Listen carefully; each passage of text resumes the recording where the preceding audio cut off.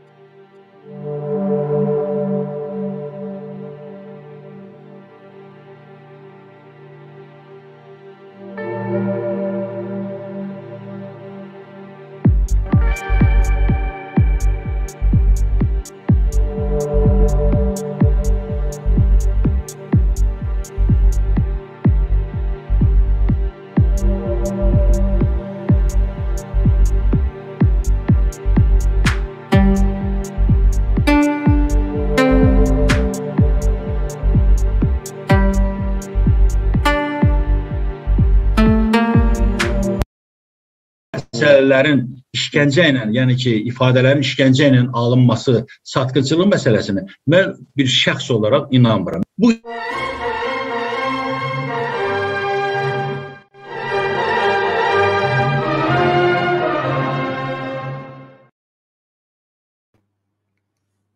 tərəfə işləyənlər var idi. 105 nəfər ekspert rəyi ortalığa çıxarsın. Salam Həsən vətənlər, dəyərli dostlar, hörmətli xanımlar və bəylər. Bu idbar sifətlərlə sizin qanınızı qaratmamaq üçün qərara gəldim ki, özüm ekrana gəlim. Bəlkə də məndən də xoşunuz gəlmir, amma dinləməyə məcbursunuz. Başqa razımız yoxdur. Biz gərək bir-birimizi dinləyə, dinləyə bu bəlalardan xilas olaq. Mən dünyanın ən şərəfli, ən ləyaqətli, ən səviyyəli, ən sədaqətli ailəsi olan Azərfirdim ailəsini canı könüldə salamlayıram. Hamınıza can sağlığı arzulayıram və uca millətimizə, böyük millətimizə də bu günə qədər olduğu kimi bizim də bir yerdə addımlamağı və belə sıx dəmir yumruq kimi bir olmağı arzulayıram. İnşallah tezliklə bu dəmir yumruğun həqiqi nəticələrini bütün dünya istəyəcək və görəcək. Siz də görəcəksiniz. Çünki bütün bu prosesləri siz şəxsən özünüz aparırsınız. Mən sadəcə olaraq sizlərin burada belə nümayəndəsi kimi sizin ürəyinizdən keçənlərin adi bir ifadəçisiyəm. Əsl vətənlər dəyərli dostlar, bu gün bilirsiniz ki, Polad Həşimovla bağlı, şəhid generalımızla bağlı araşdırmamızın ikinci hissəsini təqdim edəcəyik sizə. Amma keçməmişdən öncə e, son həftədə yarımçı qalmış bizim mövzumuzu bugün tamamlayaq. Bir 15 dəqiqəlik, 8 dəqiqəlik bir material var bir ailənin nəhayət bacımızın iki övladının Şahmarla oğlu Fəridin işgəncələri ilə bağlı mən bütün zərər çəkmişlərdən üzr istəyirəm. Son vaxtlar o qədər e, artıb zərər çəkmişlər ki, mən çatdırıb bunları İlham Aslanoğlu ilə bir yerdə efirə verə bilmirəm. Material da çoxdur, vaxt azlıq var ona görə. Amma bir şey əmin olun, mütləq sizlərin ifadələri efirə veriləcək. Bunları mən sadəcə olaraq yenə deyirəm, vaxt qıtlığından verə bilmirəm. Ona görə də çalışacağam ki, hər gün heç olmasa bir dərə səhmişi, yəni bir şahidi sizə və dünyaya, Azərbaycan xalqına və dünya ictimaiyyətinə təqdim edeyim. Buyurun dinləyək.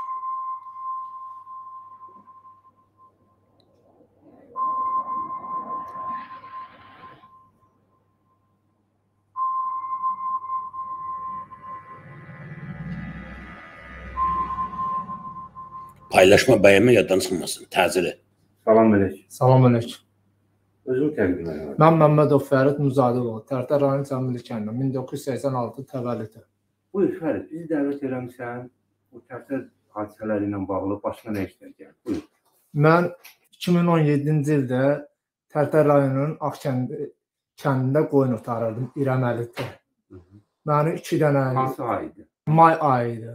İrəmədə qoyun otardım. Tərtər rayon Ağkəndin yerində, İrəmə yerində, kanalın üstündə. Hı. İki dənə əskər, bir dənə baş leytenant.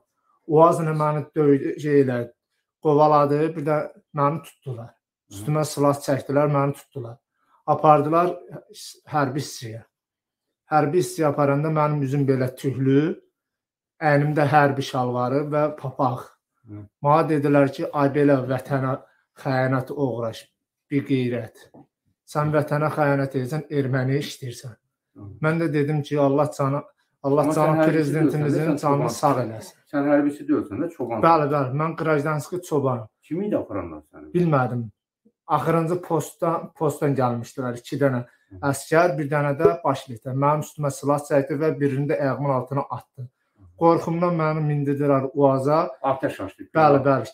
Bir dənə güllə atdılar ayağımın altına. Hı -hı. Məni atın belindən düşürtdülər, məni Uazda apardılar. Hı -hı. Aparan kimi məni burada kanalın üstündə hərbi hissədə məni polkovnik adı familiyasını bilmirəm.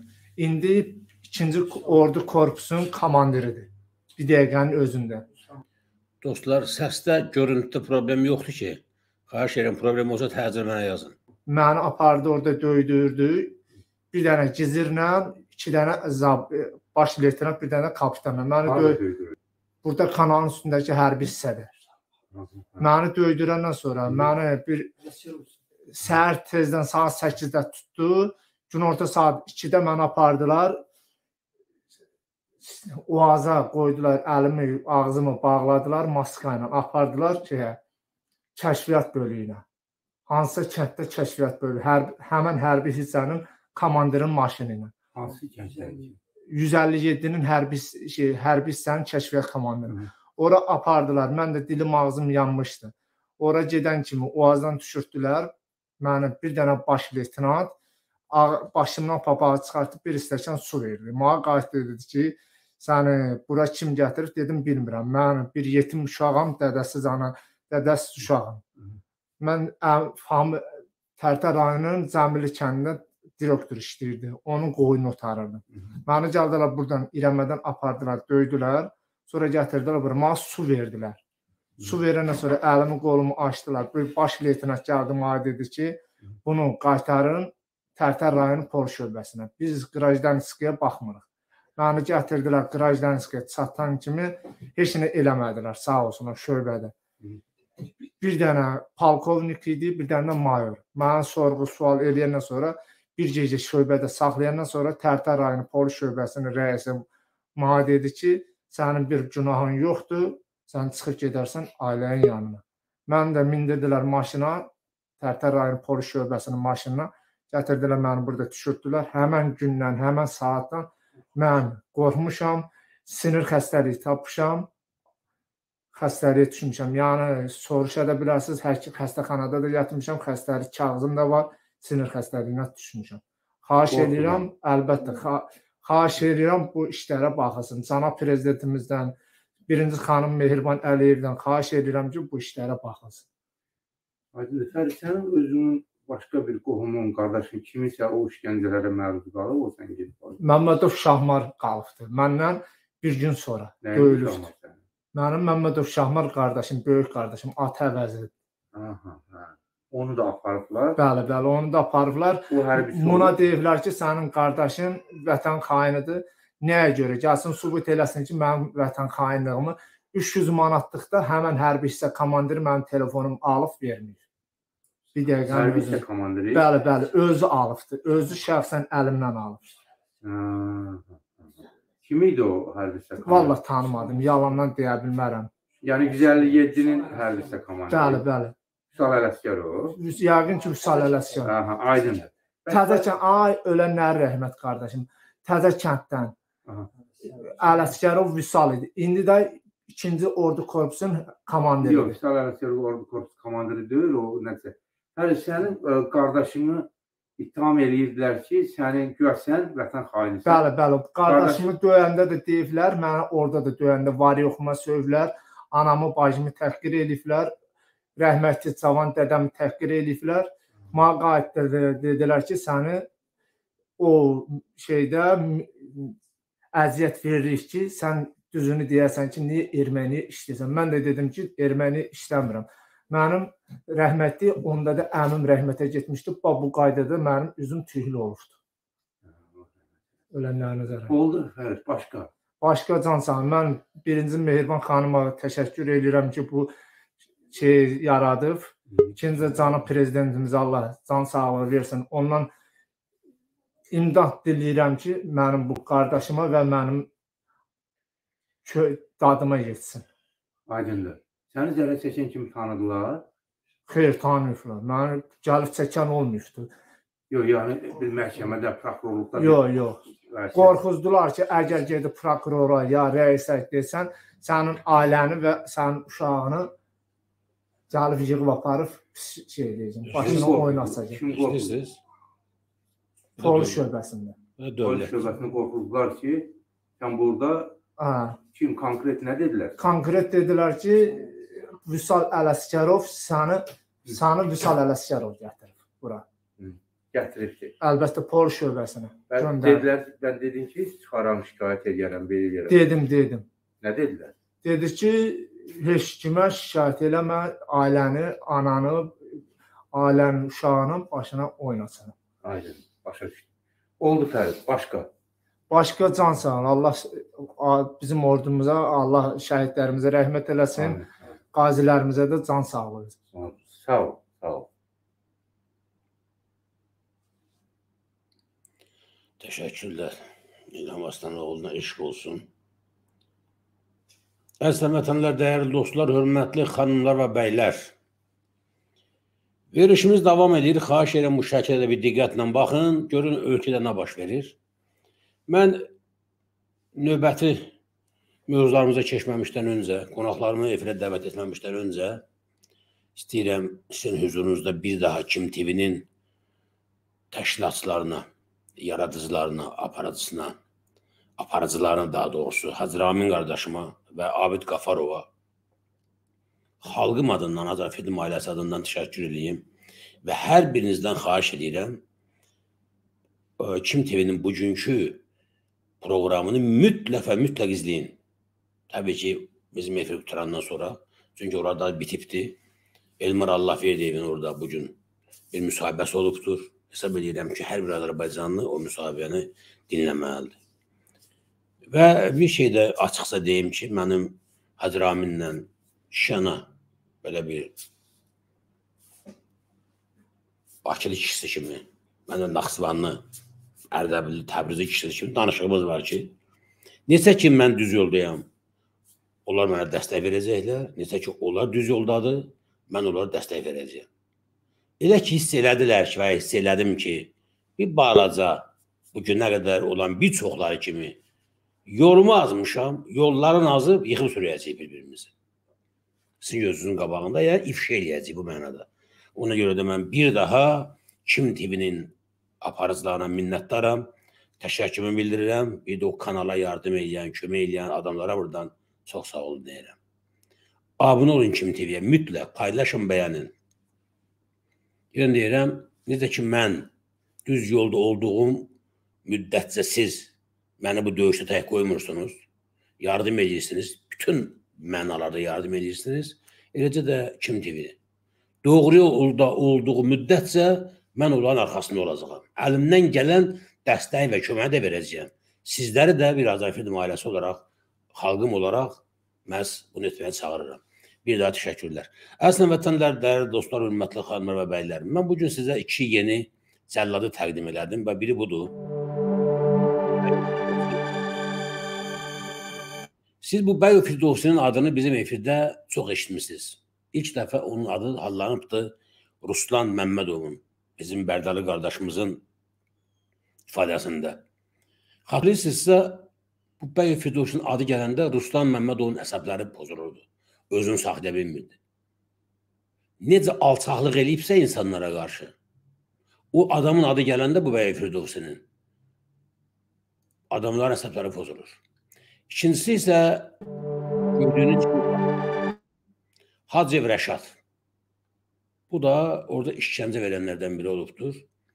Mən buradan Hacıyev Rəşadın valideynlərinə, evlidirsə həyat yoldaşına da mənim qızım, balam, qaynatasına, qayınlarına, ümumiyyətlə nəslindəki kişilərə müraciət edirəm. Övladlarınıza sahib çıxın. Onları başa salın ki, necə ki gec deyil, çıxıb səhvlərini, günahlarını, cinayətlərini etiraf eləsinlər.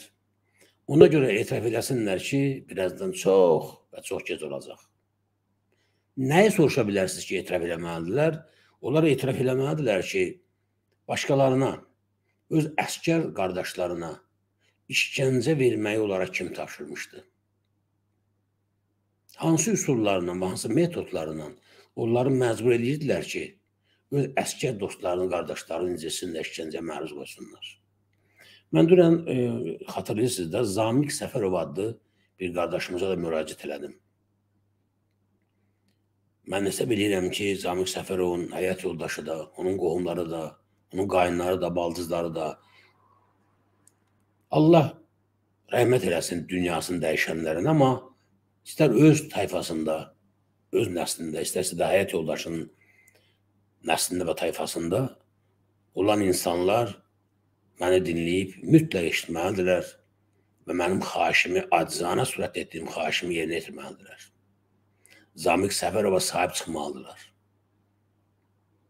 Bu alçaq binamız qədələr Zamik Səfərov kimi bizim yüzlərlə, minlərlə ləyaqətli, namuslu balamızı işgəncəyə məruz olub, qoyub, alçaldıb, təhqir eləyib, sındırmağa çalışıblar. Mən dünən efirdən sonra məlumat aldım ki, Zamiq Səfərov 3-4 dəfə intihara cəhd edib. Təbriz Babazadə kimi. Sizcə bir insanı öz şirin canına qıymağa, qəsd eləməyə yönəldən, məcbur edən nə ola bilər? Bir kişi, bir ailə başçısı, ailəsinin, həyat yoldaşın, bir başqası körpə uşaqların, bir başqası yaşlı anasının, qoca valideynlərin qoyub bu dünyada sahibsiz, köməksiz. Nədən ölkənin həyatı tərk eləməlidir? Bir çoxları ölkəni tərk ediblər. Bir çoxları əsən vətənlər inanın mənə uzaq Sibirdə və ya dünyanın ən ağır şəraitdə olan yerlərdə, məkanlarda işlədiklərinə görə bizim bu verişdə xəbərləri yoxdur. Amma şükür Allaha Azərbaycanda olanlar artıq danışmağa başlayıb, hətta şahidlər də başlayıb danışmağa. E, mən materiallar hazırlamışam. Fürsət olan kimi olarsa təqdim edəcəyəm. E, misal üçün Mehman Hüseynovun üzünə duran bir şahid hansı ki döyə-döyə öldürüblər vəhşicəsinə. Açıb hər şey danışıb. Onu kim şahid olmağa məcbur elədi? Ona hansı işgəncələr verildi ki, o bu yalan əsas olmayan, tamamilə yalan olduğunu bilə-bilə mehmanın üzünə durubdur. Əslində baxsaz, hadisə görün necə olub. O mehmanı döndürməyib. Öncə mehmana işgəncə veriblər. Elə işgəncələr veriblər ki, mehmana nə istəsələr yazdırıblar.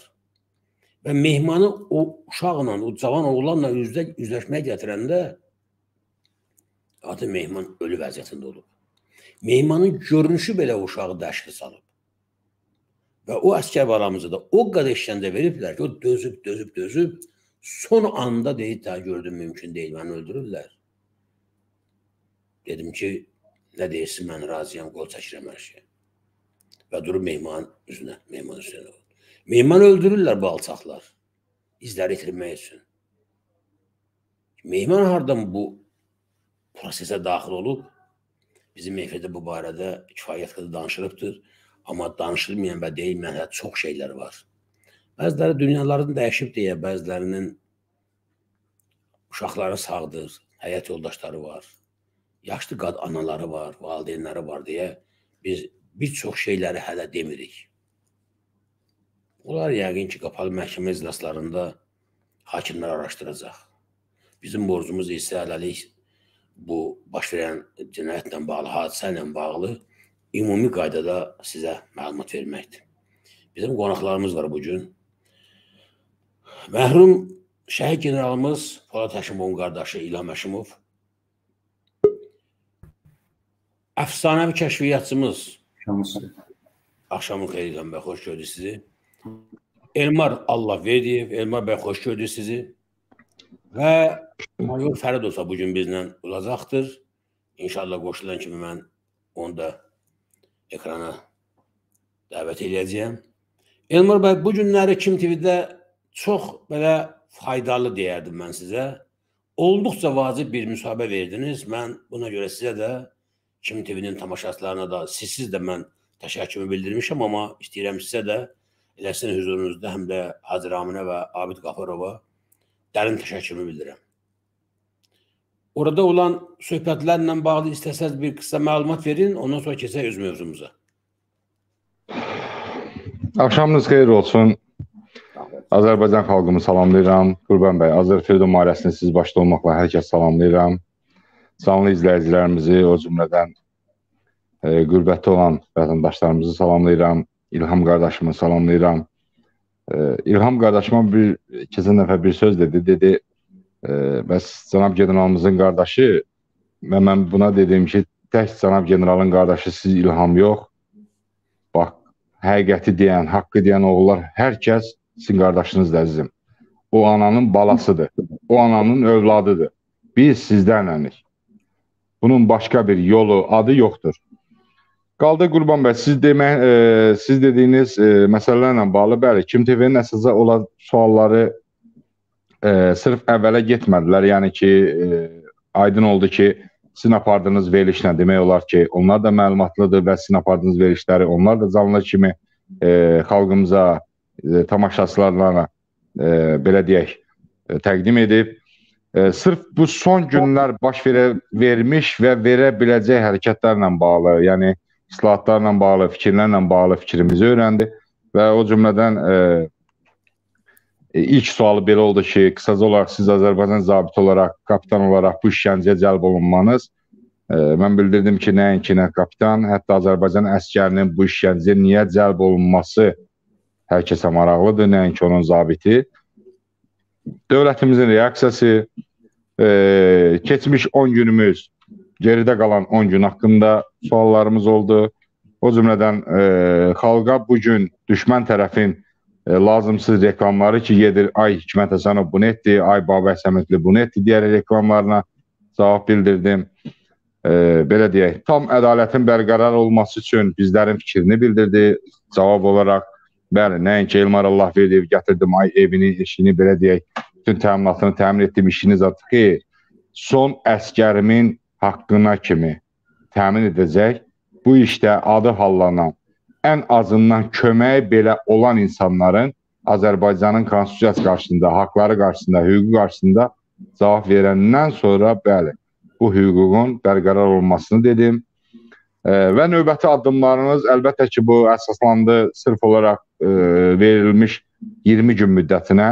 Bəli, 20 gündən sonra mən orada da bildirdim və burada da bir daha deyim ki, E, necə ki son e, kadr islahatlarından sonra dövlətinə, vətəninə, o cümlədən Ali Baş Komandana sadiq bir kadrlar kimi Daxili İşlər Nazirini, Dövlət Təhlükəsizlik Xidmətinin e, rəislərini və o cümlədən Baş prokuror Kamran Əliyev cənablarına mən e, mesajı belə bildirdim ki, yəni e, sırf bu 20 gündə atacağınız hər addım bəli, bizlərin və xalqın artıq cavabı olaraq siz ölkə başçısına sadiq biz rəhbərsiz, yaxud bu diş, düşmən rolunda oynayan bir çətənin bir nümayəndəsi kimi özünüzü sübut etmiş olacaqsınız. Yəni fikir burada budur. Yəni açıq aydın xalqın qarşısında e, bu Mir Mahmud ağanın bir gözəl fikri oldu bu şəkillə bağlı. Mən şəxsən o, o fikirlərə arxalanıram və bəli, deyərəm ki, Ali Baş Komandanın sırf biz döyüşlərə, sırf biz vətən oğullarına bir sözü var deməkdir və dediyi fikirlərlə də razıyam.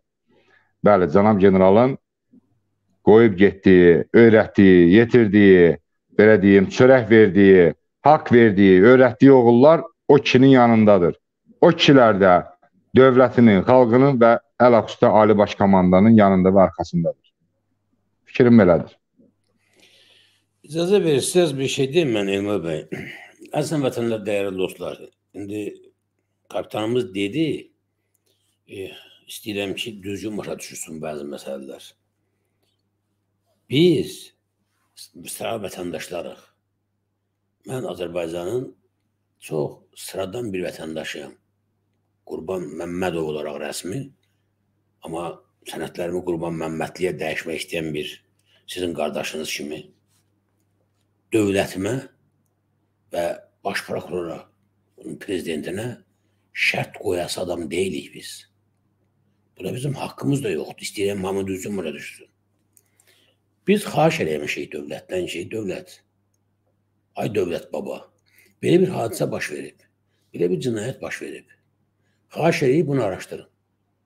Bizim o 20 gün vaxt deməyimiz, nəyimiz, bütün bunlar hamısı şərti şeylərdir. Sağ olsunlar. Əvvəla biz o vaxtı biz qoymamışıq qətiyyən.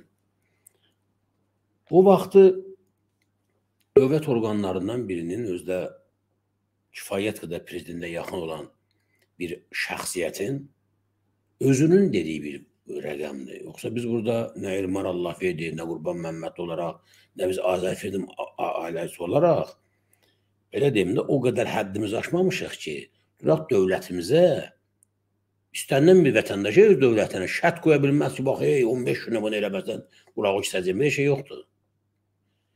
İstəyirəm buradan Elmar bəyin dedikləri düzgün başa düşülsün. Elmar bəy bir zabitdir. Andiçən zabitdir. Hətta o günləri bu süjetə baxıram. Yəqin siz çoxunuz görmüsünüz.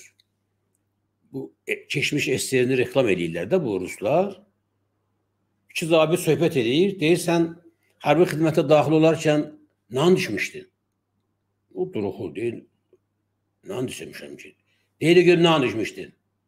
Silahını çəkir. O andı təkrarlamağa başlayır. Nə bilim ordu sıralarına daxil olarkən Sovet İttifaqının maraqlarını, dövlət maraqlarını qoruyacağım deyir. Qurudun mu? Sovet, Sovet baxın, SSR-dən danışır. Dağılıb esti, deyir, yox, götürüb güllələyir onu. Bu bir təbliğat rolikidir. Yəni demək istəyirəm ki, hər bir vətəndaş hərbi xidmətə daxil olarkən and içir.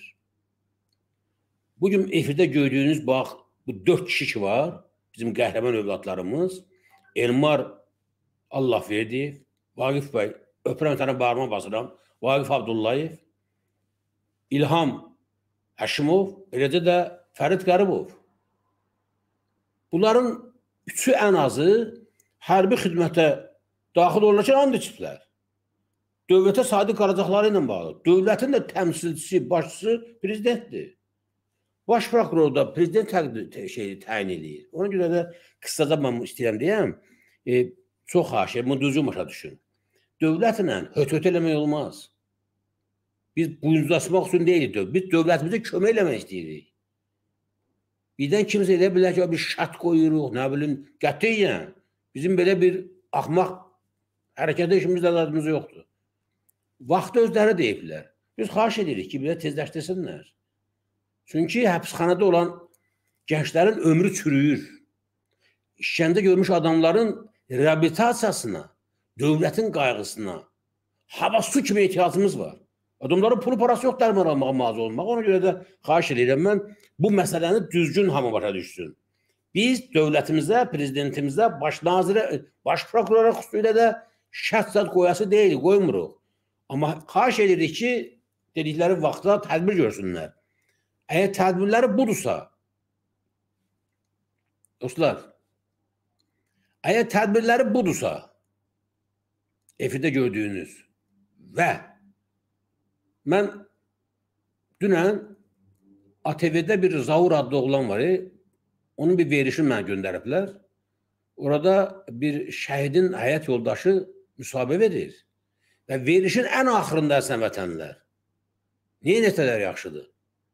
Gətirirlər qatil Azərbaycan əskər və zabitinin öldürülməsində, zorlanmasında, başına müsibətlər asılmasında və sonradan da zərərçəkmişləri pul əl almaqda müstəsna rol oynayan qatil, cəllad, Tofiq Şamradov tərəfindən öldürüldüyünə şübhələndiyimiz Səmitli Babəkin şəklini böyük ekrana verirlər. Bu bir mesajdır.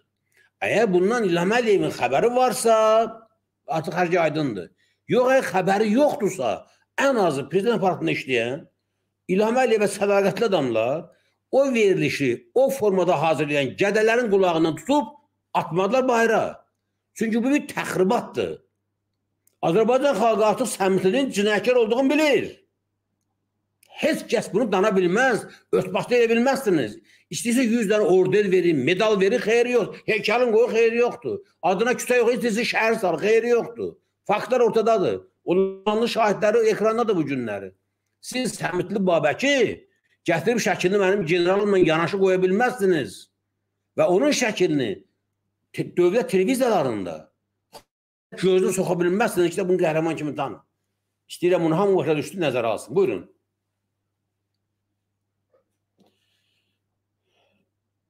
Elmar bəy, siz bitirdinizmi sözünüzü?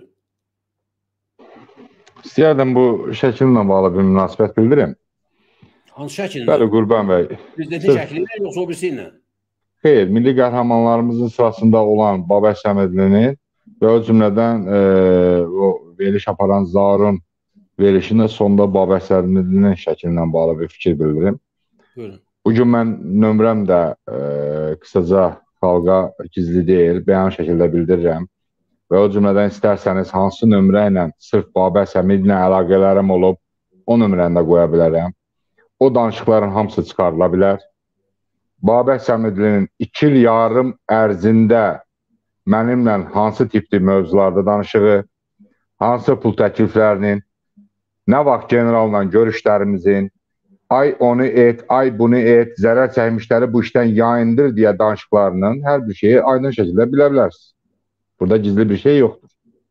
Yəni bu mənim realca Azərbaycan xalqıma, Cənab Ali Baş komandanıma verə biləcəyim bir faktdır. 2.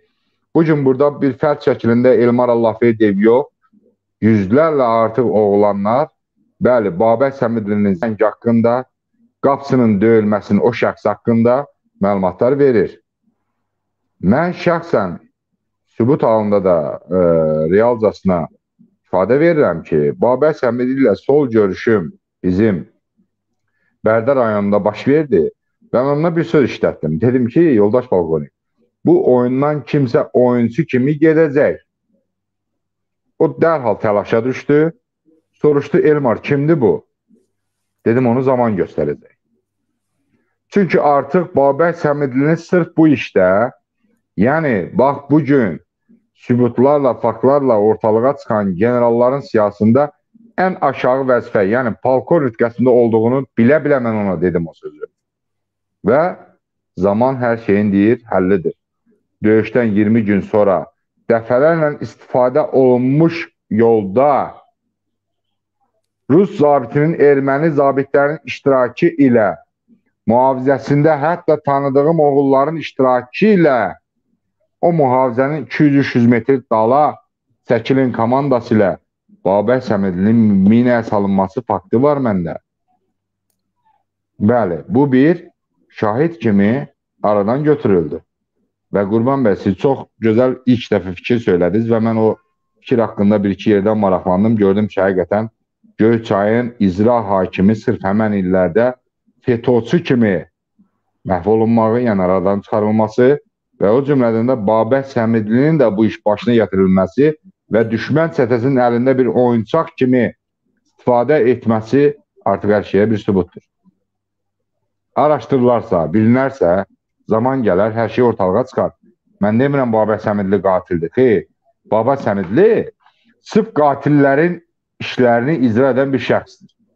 Qərarı isə dövlətim, xalqım, o cümlədən e, hüquqi cəhətdən məhkəmələrim verər.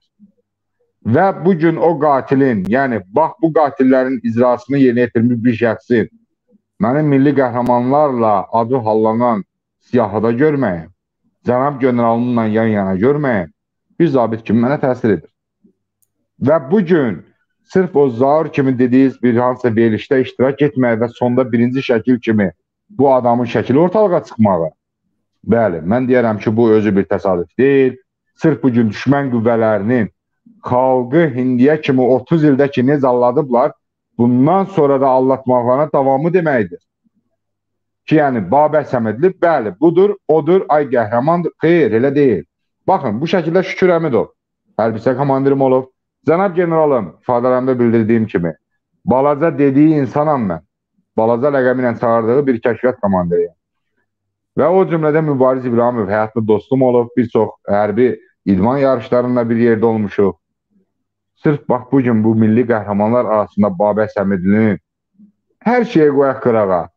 Təsəvvür edin, Zampalit deyilən, yəni ki, tərbiyəvi işlər üzrə mavinin bu gün milli qəhrəmanlar sırasında olmağı, yaxud hansı bir döyüşün qəhrəmanıdır.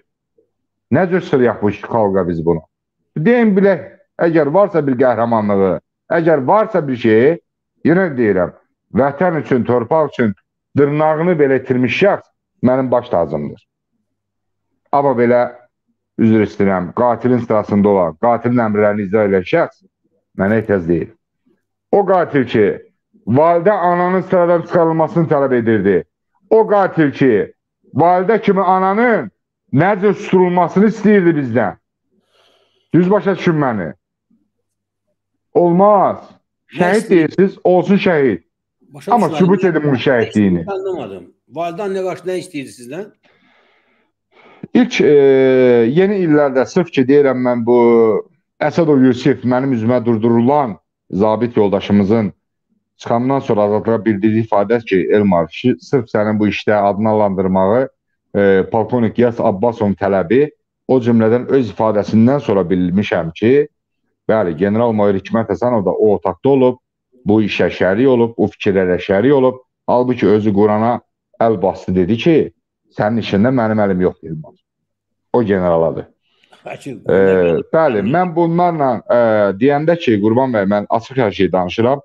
Bəli, mən bu düşmənlərin içinə girdiyim 2 il yarım müddətində necə ki deyirəm, səhər yuxudan durdum, gördüm ki, zəng gəlib və belə bir ittiham irəli ki, güya mən dövlət əleyhinə çevriş hazırlayıram. Mən bildim ki, mən sağ qalmayacağam. Sırf bax bu həqiqət gününü demək üçün Elmar yox olacaq. Ona görə mən məcbur oldum düşmənlərin içinə girim, onlarla bir yaşayım və onları inandırım ki, mən sizləri bağışlamışam. Mən sizlərlə bir siyahədəyəm. Amma o cümlədən o vaxtlarda Hikmət Həsənovun birinci növbəti tələbi nə idi? Elmar, sənin hörmətin var, səni hər kəs çox istəyir. Gəl bu şikayətə gələn, zərər çəkmişlərin səsini kəs. Bir, Babək Səmidlinin sözləri. Bir dənə ya, bizə tabe olmayan, bizə qulaq asmayan validə ananı bu yolda durdur. Allah şahiddir. Özü yoxdur həyatda. Yenə deyirəm, Allaha həvalə edirəm. Allahım şəhiddir, mənim cavabım nə oldu? Dedim, mən ancaq özümə cavab verirəm. Mən kimisə haqqını girə bilmərəm. O validə ana sakitləşdirə bilmirsə, gedin lazımdır diz çökün qarşısında. O ananın oğlunun haqqını qaytarın. Düşünməyin ki, bir ana oğlundan keçəcəksə. Xeyr, bu olmayacaq. Məsələ bu idi. Belə şeylərə görə, yəni yenə deyirəm, özü yoxdur həyatda. Dırnağı belə vətənim uğrunda gedən oğul mənim baş tacımdır. Amma hər şey öz qiymətinə. Bu günə kim necə ki üzr istəyirəm ifadəmə görə geydirmə qəhrəmanları gətirib xalqa sıradılar. Geydirmə qaziləri gətirib xalqa sıradılar. Amma əsl döyüşən, sözünü deyən qəhrəman oğullar hamısı qaldı qıraqda. Bu nə deməkdir Qurban bəy? Da yetər artıq. Bu 30 ildir biz dözdük, dözdük. Bir dostumuzu apardılar, iki dostumuzu öldürdülər, beşini öldürdülər və bilmirdi sonda belə bir oğullar çıxıb həqiqət deyəcək. Belə bir oğullar o ananın göz yaşına susmayacaq. Bunları bilmirdi onlar. Elmar bəy, gəlin belə eləyək. Təbii ki, bu şeylərin üstü açılacaq və istintaq rəsmi gedəndə daha çox şeylər deyiləcək. Çünki elə sübutlar, elə dəlillər var ki, onu yalnız qanuni proseduralar çərçivəsində əldə etmək mümkündür. O cümlədən də Babək e, Səmitli Babəkin ölüm faktı ilə bağlı necə olub, harda olub, necə olub bunları araşdırılmalıdır. Biz öz mövzumuza, əsas mövzumuza keçməmişdən öncə sizdən bir xahiş eləyəcəm ki, xahiş edirəm bizim bugünkü mövzu te televiziyada bu müzakirələrdə heç bir başqa televiziyanın və başqa bir aparıcının jurnalist adını çəkməyəsiniz. Kim TV-dən və Simasız TV-dən başqa. Çox xahiş edirəm. Bunu da niyə belə xahiş edirəm, bunu biləcəksiniz. Elmar bəy, əsas məsələ keçməmişdən öncə sizin özünüzlə bağlı bəzi adamlarda olan şübhələri biz aradan qaldırmaq üçün mən sizə bəzi suallar verməyə məcburam. Sualları verməliyəm sizə. Bizi izləyirlər, mən həmin yoldaşlarla danışmışam. İzləsinlər. Əgər sizin cavablarınızda bir ziddiyyət görsələr, bir yanlışlıq görsələr, Əsən vətənlər atmışam mən, ad çəkmirəm. Ehtiyac da yoxdur. Özləri qoşularlar, qoşularlar. Amma mən bugünkü verilişin linkini atmışam. Nə? Adamlara ki, buyurun. Mən sualları verəcəyəm. Ağlabatan əgər cavab olmasa, görsəz ki, Elmar yalan danışır, buyurun çıxın ifşa eləyin. Mən də sizlə bərabər ifşa eləməsəm Elmarı, onu deyərsiniz ki, qurban məmmədim, sən düz adam deyilsən. Hə, yeri gəlmişkən, e, dünən biz Sıracında verilişdə biz danışanda dedik, Ərəstun bəy ki, bugün e, iştirak edəcək, eləməyəcək. Ərəstun yəqin ki, bizi dinləyir. Ərəstun bəy dedi ki, sabah da danışarıq vaxtı, deyə 4 və 5-ci gün. Yadca gəlir də. Ərəstun bəy bu şeydə danışmaq deyə susmaq razılıq əlamətidir. Mən bu gün təyin etmişəm bu verilişimizi. Yəqin ki, Ərəstun bəy də qoşulacaqdır. Sualımız belədir. E, Elmar bəy. Bəli. Siz bu Selsuan əməliyyatı zamanı belə bir məlumat verdiniz ki, sizə sol cinahdan bir başqa dəstəyə də sağ cinahdan düşmənin o sağ və sol əsas səngərlərini ələ keçirib, siz soldan, o da sağdan gəlib o mərkəzi məşhur o Arı postu. ləndirilmiş Arı postu. Ar- Arı postu. Bəli. Səhv demədim. Arı postunu götürmək planlaşdırıldı. Siz belə bir ifadə işlətdiniz ki, biz gecə saat e, bir dəqiqə hücum saat neçədə olmalı idi? Sizin saat neçədə hücum əmri verildi ki, keçməlisiniz? 03:30-da artilleriya zərbəsi başlamalı idi. 04:00-da hər cinah postlarında olan qüvvələr irəli getməli idi. Əla. Əslən vətəndaş çox xahiş edirəm hamı qeyd eləsin. Vaqif bəy siz də əgər imkan varsa kağız qələm özünüzdə qeyd edirəm bəzi şeyləri. Bir zabit kimi çünki bu, bu barədə çox böyük mübahisələr var. Mən istəyirəm bu şeyləri aydına gətirək. Mən. Saat 4-də siz hücuma başladınız, yoxsa başlamalıydınız, yoxsa tez? 3-də 4 tamamda, 4 tamamda, bəli, 30 dəqiqə artilleriya zərbəsindən sonra bizə irəli əmri verildi. verildi. Siz Bəli. gəldiniz bizim səngərlərlə ermənilərin səngərləri arasında olan neytrala. Doğrumu? Keçid nöqtəsinə.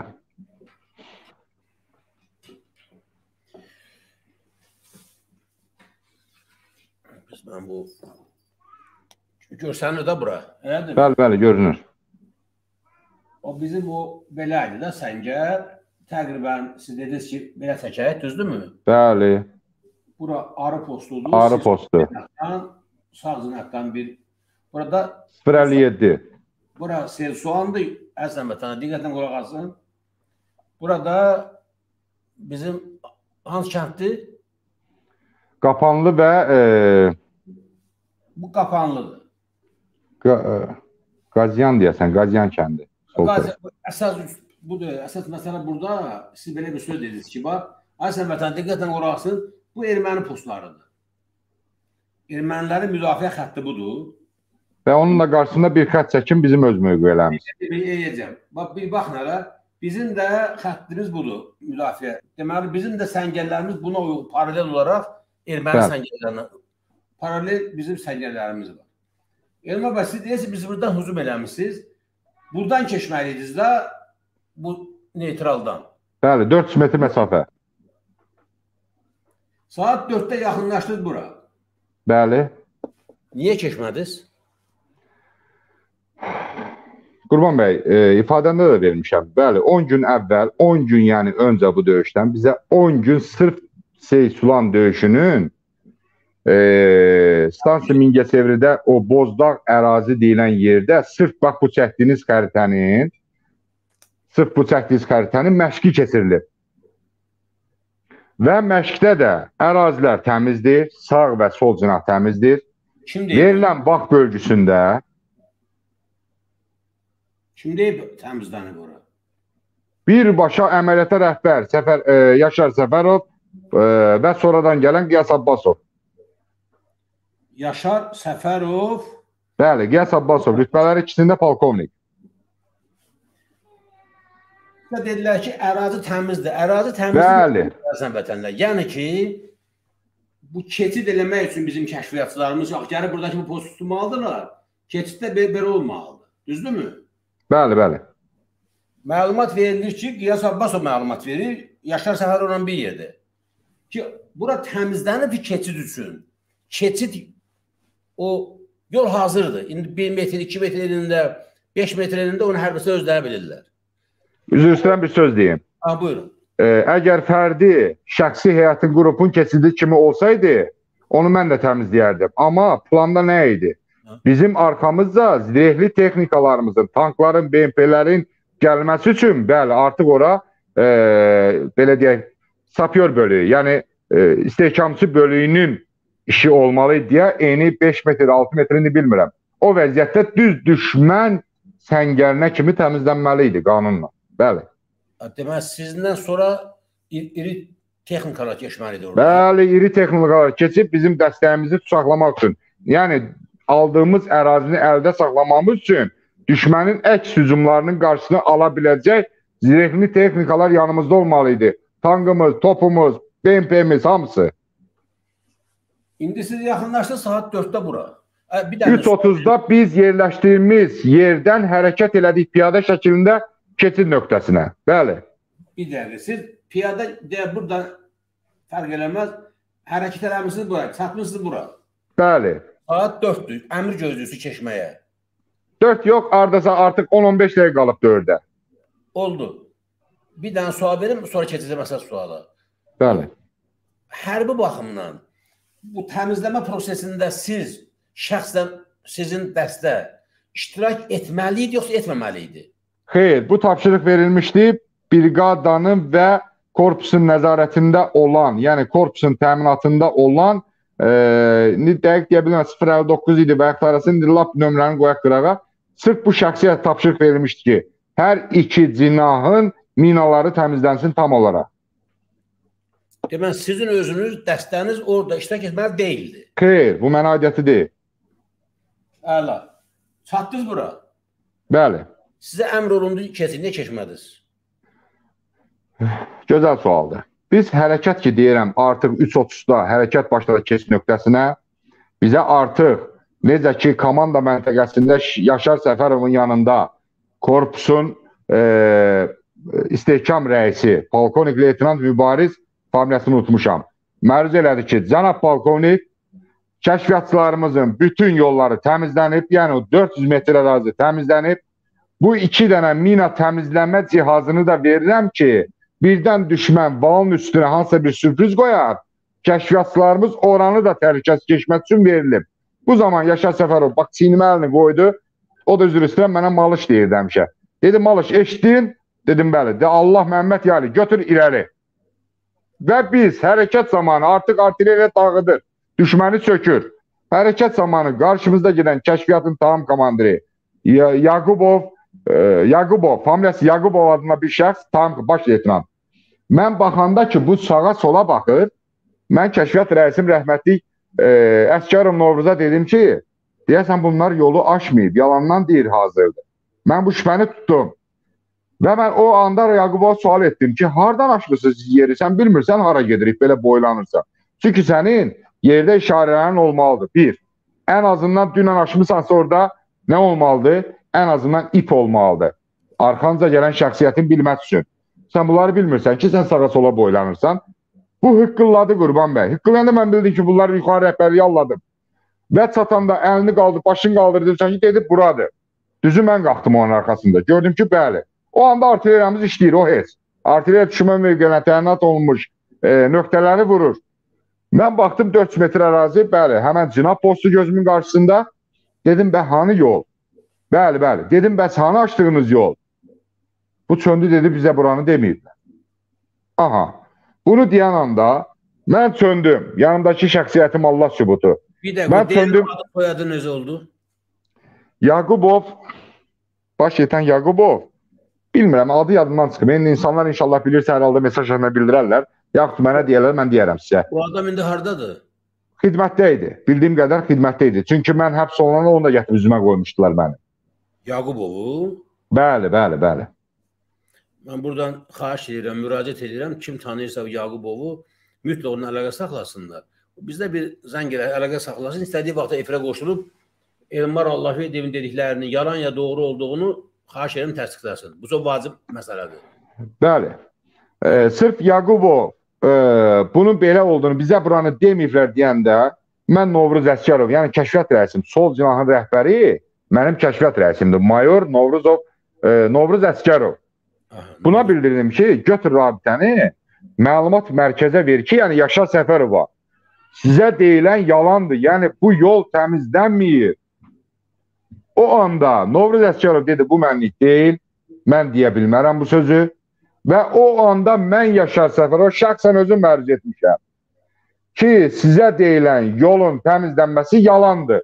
1 metr məsafə belə açılmayıb. Bunlar hamısı radio danışıqlarda var.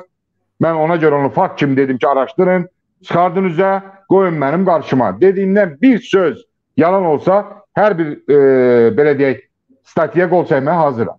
Aydındır. Aynı səs idi. Hansı gün idi? Birindən ikisinə gedən gecə.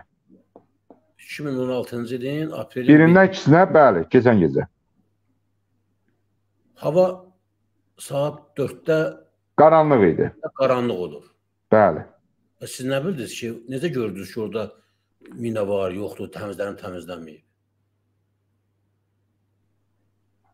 Qurban axı dilimdə deyirəm, işarə qoymalı idi.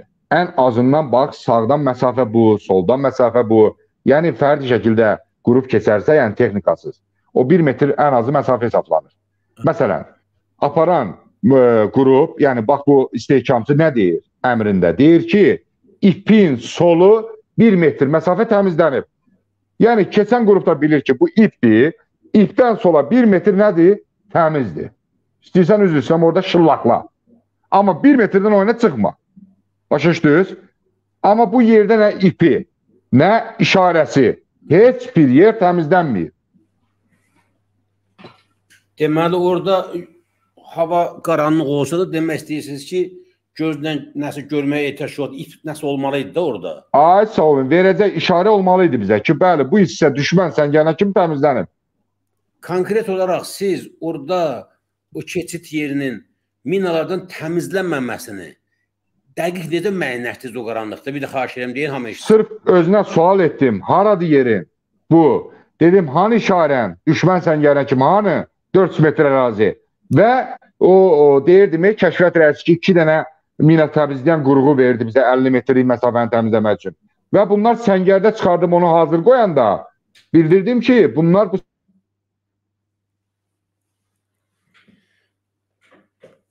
Bu sual, nə oldu sizin internetdə nə baş verdi orada?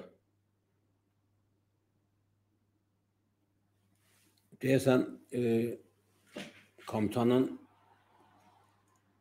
ya telefonunda ya internetində problem yarandı, eləmi? eşidirsiniz məni? Nə oldu sizdə orada dayanmışdı elə bir, donmuş. Hə, telefon interneti kəsildi, Wi-Fi-yə qoşuldum dərhal. Hə. Aydın oldu. E, icazə verin mən indi deyim. Bəli. Bu vaxt itirməyək. Mən əvvəl ad demədim. Amma indi deyirəm ki, hamı eşitsin. Hörmətli İsa Sadıqov dünən bizim sırağa gün bizim efirdə söhbət zamanı ki qoşuldu, öz fikrini dedi. Sonradan da gedib başqa bir efirdə çıxış eləyibdi. Bu mən baxmıram açığı deyim sizə o bəzi efirlərə. Mənə dərhal zəhlə gəlməyə başladı. Bizim efirdən sonra mən bütün gecə səhərə qədər ərazidən vətənlər rahat olma, ola, ola bilməmişəm. Yata bilməmişəm. Səhərə qədər zəhlə gəldi ki, İsa Sadıqov niyə belə danışır, bu nə məsələdir belədir. Mən təbii ki, baxdım. İsa Sadıqovun oradakı mövqeyinə baxdım. İsa Sadıqov hərbiçidir. Onun özünün baxışları var. Hərçənd o günləri e, Ərəstun bəy dedi ki, sən qalmısan 30 il bundan əvvələ 90-cı illərin texnologiyası indiki bir deyil, amma söhbət ondan getmir. Hər halda İsa Sadıqovun ifadəsində bəzi məsələlər var idi ki, mən bir-iki sual verərəm Elmar Allahverdiyevə susanla danışama neyə, belə bir ifadələr işlətmişdi orada və bunu da bir çox adamlar qabardıblar. Təbliğ edirlər, yəqin görürsünüz sosial şəbəkələrdə. E, təbii ki, hansısa qüvvələr Azərbaycan zabitlərinin arasında bu məsələ ilə bağlı qaşdırma yaratmaqda meyillidirlər. Niyə özləri bilərlər? Məni maraqlandırmır. Allah hamının qəlbindən keçənlər oxuyur. Amma mən bu sualları niyə verdim? Əslən vətənlər, mən İsa Sadıqova dünən Hərsən İsa bəy dönə-dönə xahiş elədi ki, yox, bu lazım deyil, bu gündəlik bu şeyi müzakirə eləməyin, siz daha ciddi işlə məşğul olursunuz. Ola bilsin ki, anlaşılmazlıq olar, nə olar, nə olar? Dedim, yox.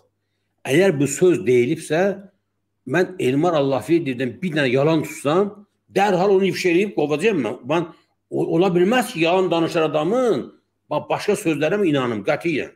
Dəfələrlə dedim mən İsa Sadıqova, hətta bu gün efirdən qabaq da biz danışdıq. İsa bəy dönə-dönə xahiş elədi ki, lazım deyil. Dedim, yox. Artıq efirə deyilib bəzi fikirlər. Bunu aydınlıq gətirilməlidir. İsa Sadıqov da əsas narahat edən suallar bu idi ki, gecə qaranlıqda bu Elmar Allahverdiyev nə hardan bildi ki, təmizlən təmizlənməyibdi? İkinci bir sualı var idi ki, özü o bu niyə sualı mən konkret verdim? O maraqlandırıcı o sualı verdim mən ki, təmizləmə prosesində şəxsən özü iştirak eləməlidir yoxsa yox? Elmar Allahverdiyevin cavabı ilə İsa Sadıqovun dediyi nəzəri cavab eynindən düşdü üst-üstə.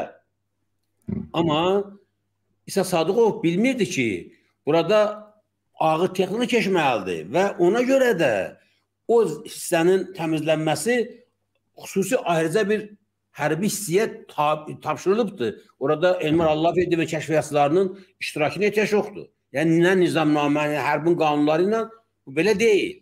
Yəni Elmar Allahverdiyevin, hörmətli İsa Sadıqov, yəqin eşidirsiniz. Dediklərində zərrə qədər yalan yoxdur. Əgər İsa Sadıqov hesab edirsə ki, burada bir yanlışlıq var, buyurub deyə bilər. Bunda niyə deyirlər əzəmətənlər? İsa Sadıqov iddia edir ki, Kərim Vəliyevi müzakirə eləməyə Elmar Allahverdiyev bir başqasının səlahiyyəti yoxdur. Bu kapitandır, o generaldır, bunun təcrübəsi var, onunki yoxdur. Təbii ki, yenə deyirəm mən İsa Sadıqovun bu öz şəxsi mövqeyidir. Ancaq mən hesab edirəm ki, nəinki kapitan, adi bir əskər də gördüyü bir hərəkət haqqında danışmaq haqqı, hüququ və vəzifəsidir. Və o ki qaldı Kərim Vəliyevlə bağlı deyilənlərə əziz vətənlər. Mən açıq deyirəm buradan bir şey biləsiniz. Mən bunu demişəm bir dəfə. Kərim Vəliyevlə bağlı komutan Elmar Allahverdiyevin dediklərini Mən vaxtı ilə şükür şəhiddir. Allah rəhmət eləsin. Şükür Həmidovla bağlı demişəm. Mənim qardaşım oğlu Mayor Rasim Məmmədov Lələtəpə alınandan sonra deməli dururlar erməni tərəfdə səngərdə bunların qabağında da torpaq yığılı ermənilərdən qalmış xeyli meşoxlar və nələr var ağıllı başlı qorunur ora. Şükür Həmidov təpəni fırlanır. Gəlir düz mənim qardaşım balasının Rasim Məmmədovun yanına. Orada müəyyən atmazalar atırlar, danışırlar, söhbət edirlər. Oradan gedəndən 5-6 dəqiqə sonra hətta orada bu şeyin şahidi olan, sağ qalan əskər deyib ha bunu bizə. 3-4 dəqiqədən sonra düz onun durduğu yerə o Elmar bəy o gün deyirdi ki, erməni snayper şey elə atırlar ki, minametlər, elə bir snayper atırlar. Qucağına düşür. Düz mənim qardaşımın barasının ayağının altına düşür. Və orada 5 bizim əskər və zabitimiz tikə parça olmuşdular. Buradan da indi mən bacımdan da üzr istəyirəm, yarım bacıdan heç onun xəbəri yoxdur bu şeylərdən. İndi eşitdi biraz da qanları qararacaq. Adamların orqanların birini oradan, birini buradan yığıb tabuta yığmışlar ki, onu da müəyyən işarələrlə tapmışdılar. İndi mənim haqqım varmı soruşam ki, Şükür Həmidov ora gəlib gedəndən sonra niyə məhz oranı vurublar? Mən sual verirəm. Və bu barədə əzizən vətənlər, vaxtında biz demişik bu alçaq binamus Elmar şeyə Xanlar Vəliyevə. Ki araşdırın bunu. Və mənim qardaşım balası ölür. Meydə hələ oradadır. Düşmən şeydə neysə qalıb orada döyüş bölgəsində. Hücum edib onun iş otağından seyf aparırlar. Qırırlar, içindəki çıxadıb özündə yandırırlar seyfi. Gedirlər maşını dağıdırlar, nəsə aparırlar, xəbər yoxdur. Yalandan xanlar belə bizə deyir ki, ki hansı əskərin telefonu kapitandayım, mayordaymış mənim qardaşım arasında. O telefonu axtarılmış, orduya baxın siz. Belə şey geçməz. Və mən bunu deyəndə demək istəmirəm ki, Şükür Həmidov erməni işləyibdi. Ora gətirib üstə cip mənim qardaşımın balasının və Azərbaycan başqa əskər zabitə budur. Yox demək, o elə demək istəmirəm mən. Amma bu bir faktdır. Ola bilər ki, eyni şey ola bilər Kərim Vəliyevlə də bağlı. Ola bilər ki, Şükür Həmidovu ora göndərən adam erməni işləyir. Şükür Həmidov özü də bilmədən onun üstünə müəyyən bir şey yapışdırırlar. Deyirlər, get gör orada Rasim eləyir. Yazıq gəlir ora. Ona zəng eləyirlər. Nə var, nə yox? Deyir, yaxşı şey. Deyir, tez qayıt gəl. Tez qayıt gəl. Ola bilər yoxsa bir versiyadır. Mən huşunasam. Oturub sizə burada versiya hazırlasam, 15 versiyası deyərəm. Ki, Kərim Vəliyevdən də, Şürəmidovdan da necə istifadə eləmək olar? Hansı qaydada istifadə edə bilər ki, öz xəbəri olmadan düşmənə yardım eləsin? Bu versiya əslən araşdırılmalıdır. Suallar verilməlidir. Bu müstəntiqin vəzifəsidir, amma and olsun Allaha, necə ki Azərbaycan bu vəziyyətdədir, belə idarə olunur. Necə ki Azərbaycan hərbi prokurorluğu var. Onun da başında bu cinləkər alçaq gədələr var. Xanlar Vəli və Şəvad İmranov kimlər? Hümmət Məmmədov kimlər? Adamı heç araşdırmırlar. Yəqin ki, bu günlərində Polat Həşimovun qardaşı da qardaşının rəhməti şəhid generalımızın işinin tədqiqatı ilə bağlı öyrəndiklərsə deyəcək. İstəyirəm bunu, bunu dedim ki, əslində hamı bilsin. Buyurun. Buyurun söz sizdə. Qurban bəy, mən bir qısaca bir söz deyəcəm. Yadınızdadırmı? Efirdə də demişdim ki, məni 3 gün qərargaha salıb sən döyüşü belə deməlisən deyəndə mən onlara bir cavab demişəm.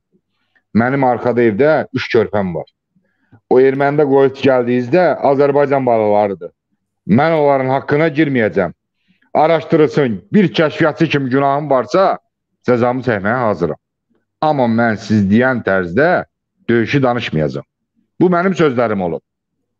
Bu mənim fikrim olub. Onunla razılaşan əskərini orada qoyub gələn komandirlərin hamısı rütbə aldı vəzifəyə getdi. Amma Elmar gəldi, xain oldu, həbsə getdi. Bunu danmaq olmaz. Bu gün kimin nə şübhəsi varsa, kimin nə sözü varsa, çox xahiş edirəm Qurban bəy, yox.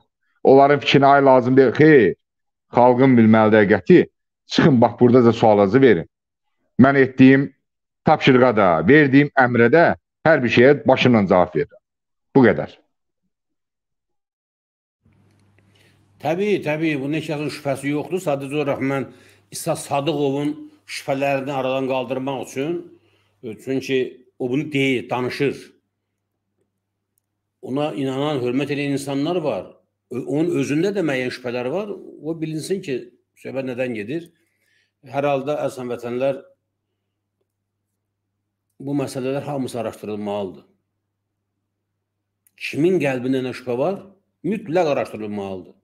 Ən azı mənim şəxsən, bax Qurban Məmmədli olaraq ürəyimdə olan şübhə ki var ha, onu aradan qaldırmaq dövlətin vəzifəsidir. Ki, Lələtəpədə nə baş vermişdi? Və niyə? Lələtəpədə baş verən hadisə ilə Polad Həşimovun ölümündə baş verən hadisə eyni formada baş verir. Niyə?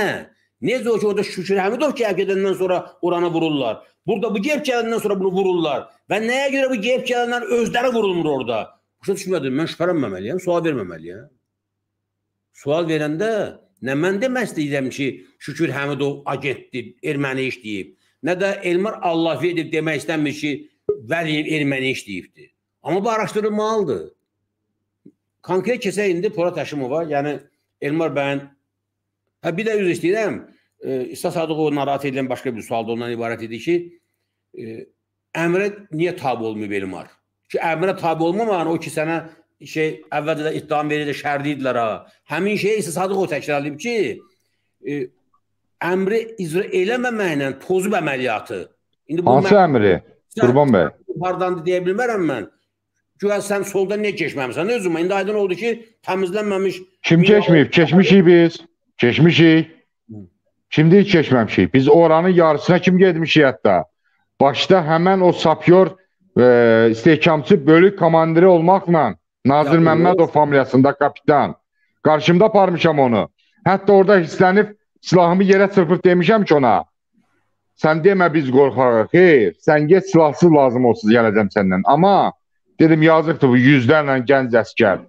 Biri miniyə düşsə 99-una kim cavab verməyəcək. Hansı hara qaçacaq deyə. Hansı harda minə düşəcək deyə. Get dedim sənin dalına mən gəlirəm. Mən oğul gələcəm. Elə də getmişəm. Düz arkasında gelmişəm o oğlanın. Bir də ayılır ki, səhər 7-yə işləyib hava açıqlanıb, hələ biz ortadayıq. Yəni, min axtara-axtara belə deyək, gedib hələ ortaya çıxmışıq, uca hava açıqlaşıb. Bəli, orada erməni bir dənə birimizi vursaydı, o 200-ə yaxın oğlan hamısı qırılacaqdı orada. Buna görə mən xain oldum. 200 dənə Azərbaycan əskərinin canını qurtardım. Düzdürmü?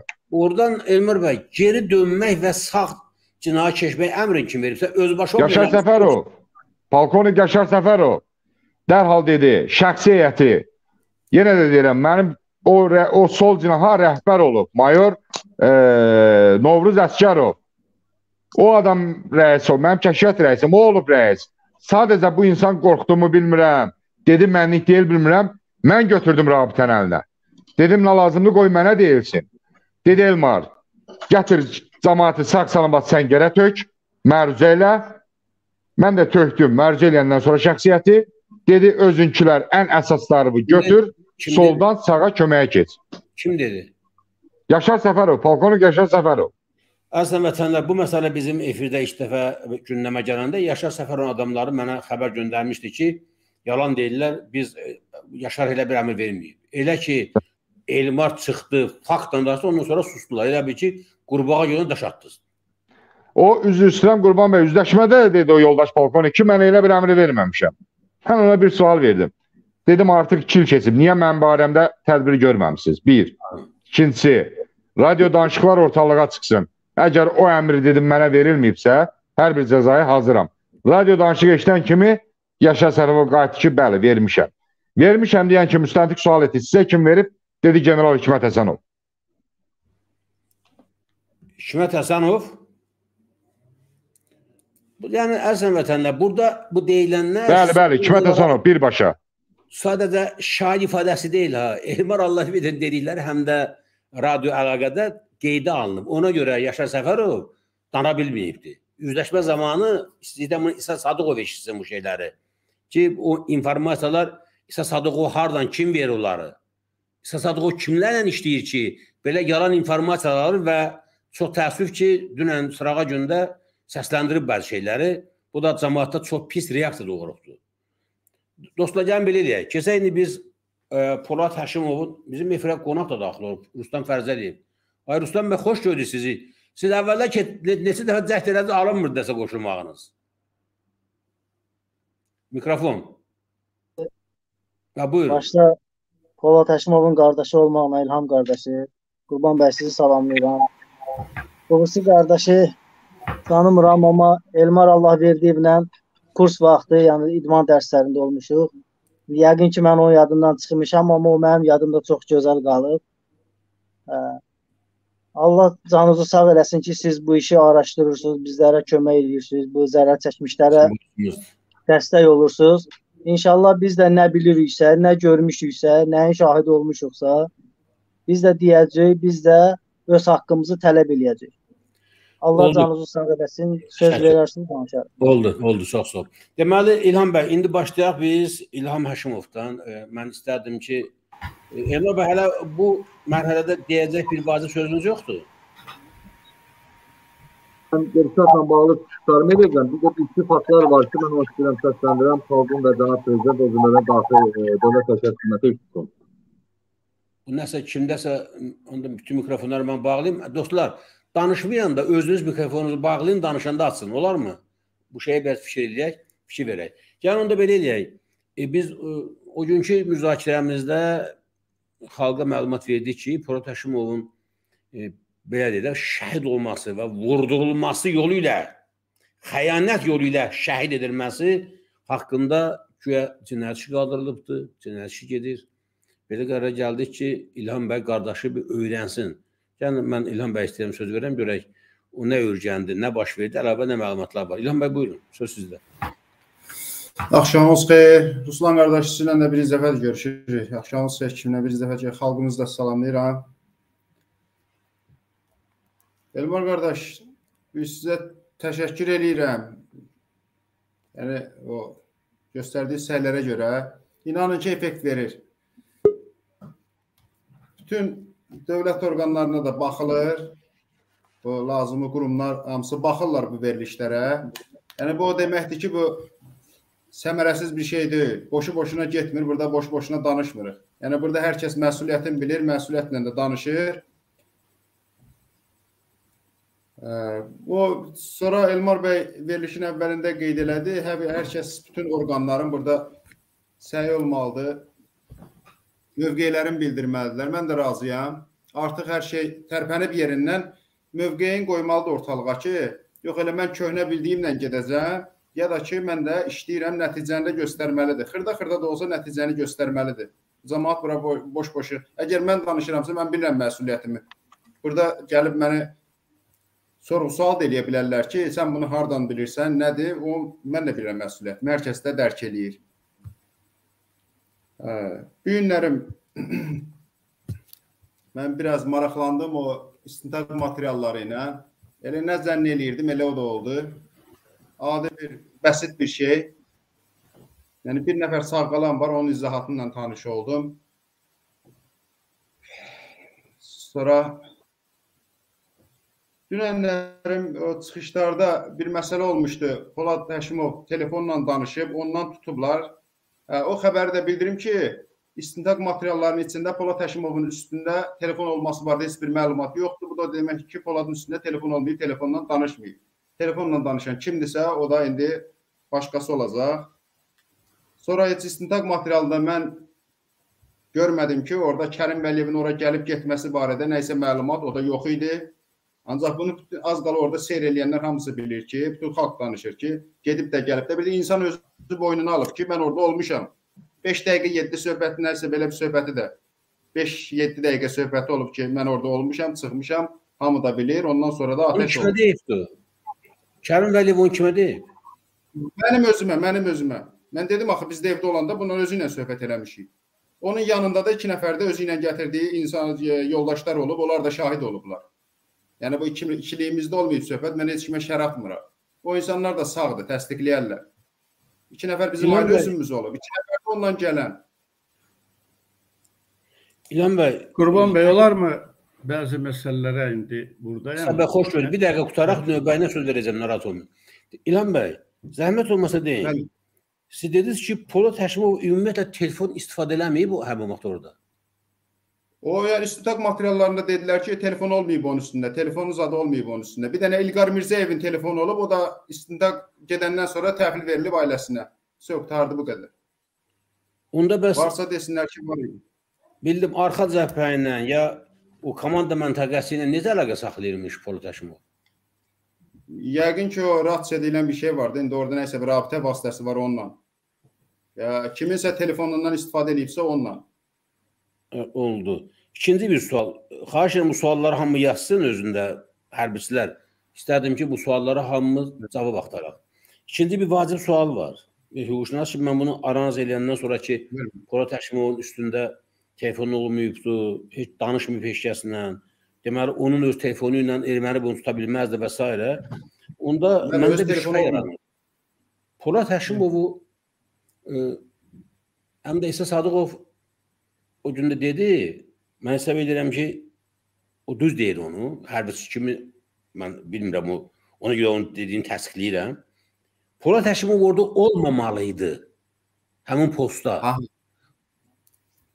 O Aydın. vurulduğu postda olmamalı idi. Yəni döyüşü deyir oradan idarə eləmə, eləməməli idi o. Belədirsə, onda Polad Həşimov ora kim göndərmişdi? Əsas Aydın. mənim üçün vacib olan budur. Kim göndərib ora? Qurban bəy, bu, bu suala mən elə özüm gələcəydim. O əvvəldə qeyd elədim, çox bəsit bir istintaq materialı idi. Demək olar ki, orada heç bir şey yox idi. Az qala bir yol nəqliyyat qəzasında bundan artıq böyük bir izahat yazılır mən bilən.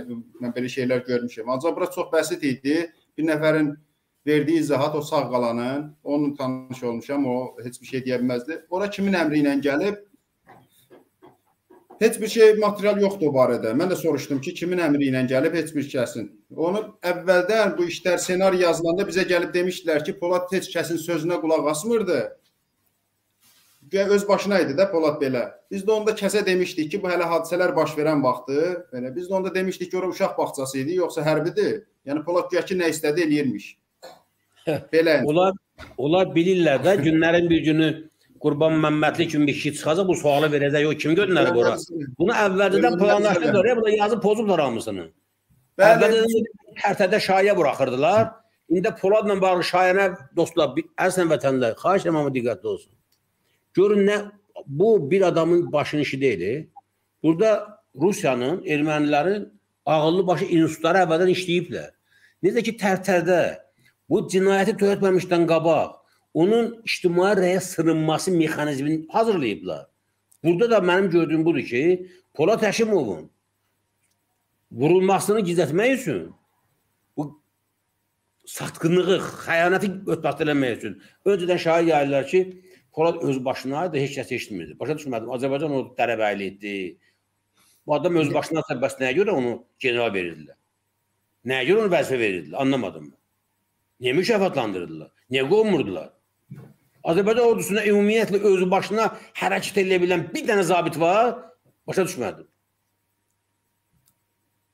Ona görə bu şayət əvvəldən gəlib hazırlayırlar ki, səbəb bu sual çıxanda ki, o, axı bilirlər ki, onu ora kim göndərib sualın cavabı bir çox başların getməsinə səbəb olacaq.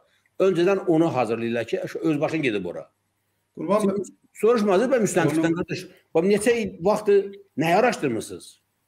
Qurban bəy, o mən deyim bütün məmurlar, bütün müstəntiqlər eyni deyil. Yəni saf insanlar var onların içində də. Hələ çirkab o dərəcədə bulaşmamış insanlar var. Onun Təbii. özü bir şey eləməyib. Yəni bu Şəmkir hərbi prokurorluğunda aparılmış ilkin istintaqın nəticələri idi. Ondan sonra bir iş görülməyib. Yəni görülsəydi məni çağırıb bir şey soruşardılar. Heç nə soruşulmayıb. Ee, sonra bu mən dedim, qeyd elədim ki, ona Poladın kim göndərməsi var idi. O da o da bir şey yoxdur orada. Sanki öz başına çıxıb gedib. Yəni döyüş gedir. Nə etməlidir bu insan? Daha bir Olar mı? Qurban bəy, İlham bəy üzr istəyirəm sizdən. Buyurun, mən bu buyurun. sualları cavablandıra bilərəm Qurban bəy. Problem Buyur- deyil. Buyurun, Mən buyurun. deyim sizə. Yəni bir də İsa öncə İsa üzr istəyirəm. Əvvəla xoş gəldiniz. E, mən istərdim ki, o sizin şübhələrinizlə bağlı verdiyim sualları eşitdiniz, cavabları da eşitdiniz. Elmar Allahverdiyevindən bağlı sizin şübhəniz varsa, xahiş edirəm buradacana bunu aydınlaşdıraq. e, Qurban bəy, siz 6 aydır araşdırmalar aparırsınız da ekranda. Mənim burada oturanlardan heç kəsdən şübhəm yoxdur. Mən döyüş nizamnamələr var. Döyüş nizamnamələrə uyğun o əməliyyatlar necə hazırlanır, necə icra olunur. Və bəzi hərbiçilər çıxış edəndə mən elə sizlə də əlaqə saxlayıb deyirəm, özüm də imkan olanda çıxıb burada bəzi düzəlişlər edirəm. Çalışıram ki, izah edəm. Nəyə görə? Ona görə bizə ancaq Azərbaycanlılar baxmır, bizə düşman da baxır və qiymətləndirir bunların hərbiçiləri kimdir, nədir. Mən Polad Həşimov, yəni Tovuz döyüşlərindən başlamaq istəyərdim. Əslən vətənlərim, uzun illər ərzində mən dəfələrlə bunu qeyd etmişdim kanallardan ki, bizim ordunu salıblar səngərlərə və səngərlərdə çürüdürlər. Səngərlərdə böyümüş briqada korpus komandirləri yetişir. Odalar ki, nə təcrübəsi var, nə döyüş zamanı həmən o hissələri idarə etmək iqtidarındadılar. Bax, aprel döyüşləri.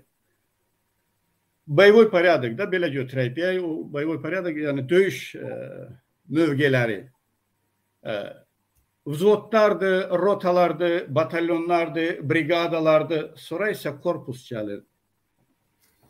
Axır 2016-cı ildə də korpus komandiri mavini olaraq Polat Həşimovu göndərirlər irəli. Axır biz 20-25 il ərzində generalı yetişdirmirik ki, döyüş zamanı o adi bir vzoda, vzod deyil, bölüyə komandanlıq etsin. Orada axır bölük komandiri var.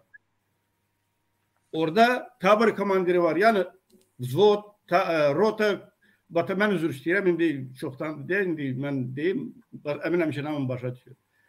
Brigada komandiri var. Brigada komandirinin mavinləri var. Qərargah rəisi mavinləri var. Onlardan getsin. Niyə korpusun qərargah rəisi gedib bir bölüyün məsafəsində döyüşləri idarə etməlidir?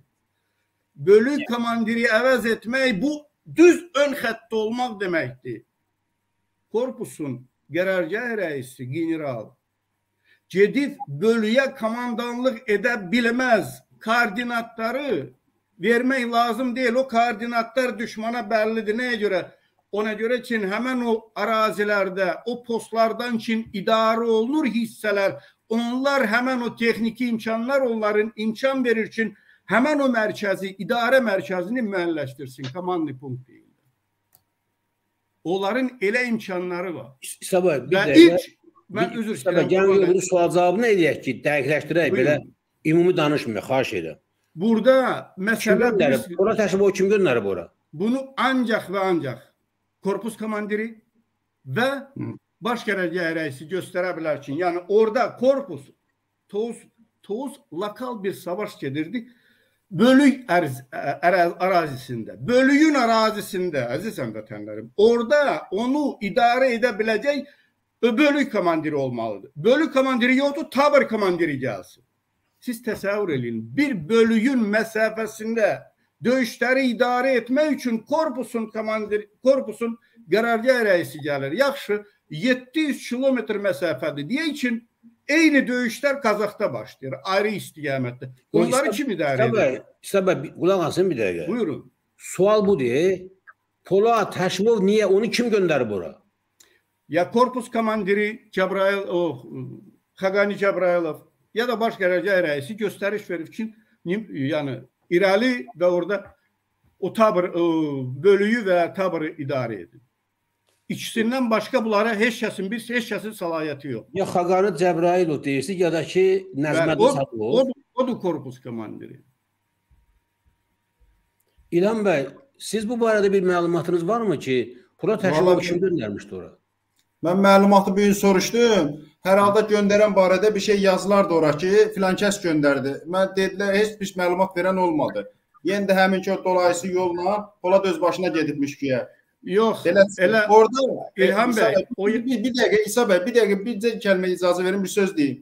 Polada orada belə bir yol qoymuşdular. Ya bu tutduğu bu şərəfli yol, ya da qayıdıb Polad düşür aşağı salamat qalır. Oradakıları məhv eləyirlər və bu günlərim istintaq qurulur Polad Həşimovun üstündə. Polad Həşimov xain kimi başlayırlar buna Tovuz rayonunun müəyyən hissəsini verdi erməniyə. Bu cür iş gedəcəkdi. Bu işlənmiş planlardır. Ya belə, ya belə Polad şərəfli yolu tutdu. Elmarın başına həmin oyunları neçə dəfə açıblar. Onlar xalqın balasını qurtarmaq üçün geri qayıdıblar. Qaytarıb gözləri ilə də gətirə biliblər. Polad apreldə getdi, bazardığını elədi. Bu dəfə hamısı tökülüb üstünə. Siz Xəqani Cəbrayılovun adını çəkirsiniz. O baş qərargah rəisinin adını çəkirsiniz. Ancaq Poladın yanında olub oradan 5 dəqiqədən düşəndən sonra vurulan adamın adını çəkməyi istəmirsiniz. Biraz ədalətli olaq da. Mən bu günlərim sizin suala konkret cavab verdim ki, o gün deyirdiniz ki, siz Polad Həşimov telefonla danışın. Polad Həşimov telefonu olmayıb olsaydı istintaq materialının içində iş olar. mən bunu Mən, mən belə şey mən Azərbaycanın mən belə şey- içində, mən sizdən yaxınam. Çox şey. Burada girsəz xalqın arasına nələr danışıla bilərsiniz. İnanın ki, bu veriliş çox effekt verir. Verəcək də. Hələ o orqanlarda, dövlət orqanları çox maraqlıdırlar. Özləri üçün çox bu günlər mən onlara da dedim ki, hər kəs mövqeyini aydınlaşdırmalıdır. Çünki nəticəsi bəlli olacaq qısa bir zamanda. Elmar bəy nəsə demək istəyirdi. Elmar bəy Belədir buyurun. məsələ. İlham bir də Elmar bəy nəsə demək istəyir. Buyurun. Buyur, buyur Elmar bəy. Ee, sağ olsun Qurban bəyin açıqlaması ilə, yəni sizin olan şübhələri, suallar etdi mənə. Əgər zabit kimi mənə şübhələriniz var idisə, ilk öncə niyə mənimlə danışmaq istəmək gözü bilmək istəyərdim ki, niyə mənə çıxıblar ki, İsa bəyin nömrəsi budur, mənə danışmaq istəyir. Bu bir aylar öncə hətta. İkincisi, bu gün e, bəli, cənab generalın düz deyirsiniz, sözdə həqiqət var ki, işi idarə edən şəxs öz komandirliyi üçün onun təhlükəsizlik məsafəsi var və onun e, belə deyək döyüşü idarə etmə məntəqəsi var. Niyə oradan önə çıxıb? Və bu suala cavab olaraq korpus komandirinin yaxud baş qərargah rəisinin cavab verirsiniz. İndi mən sizə sual edirəm.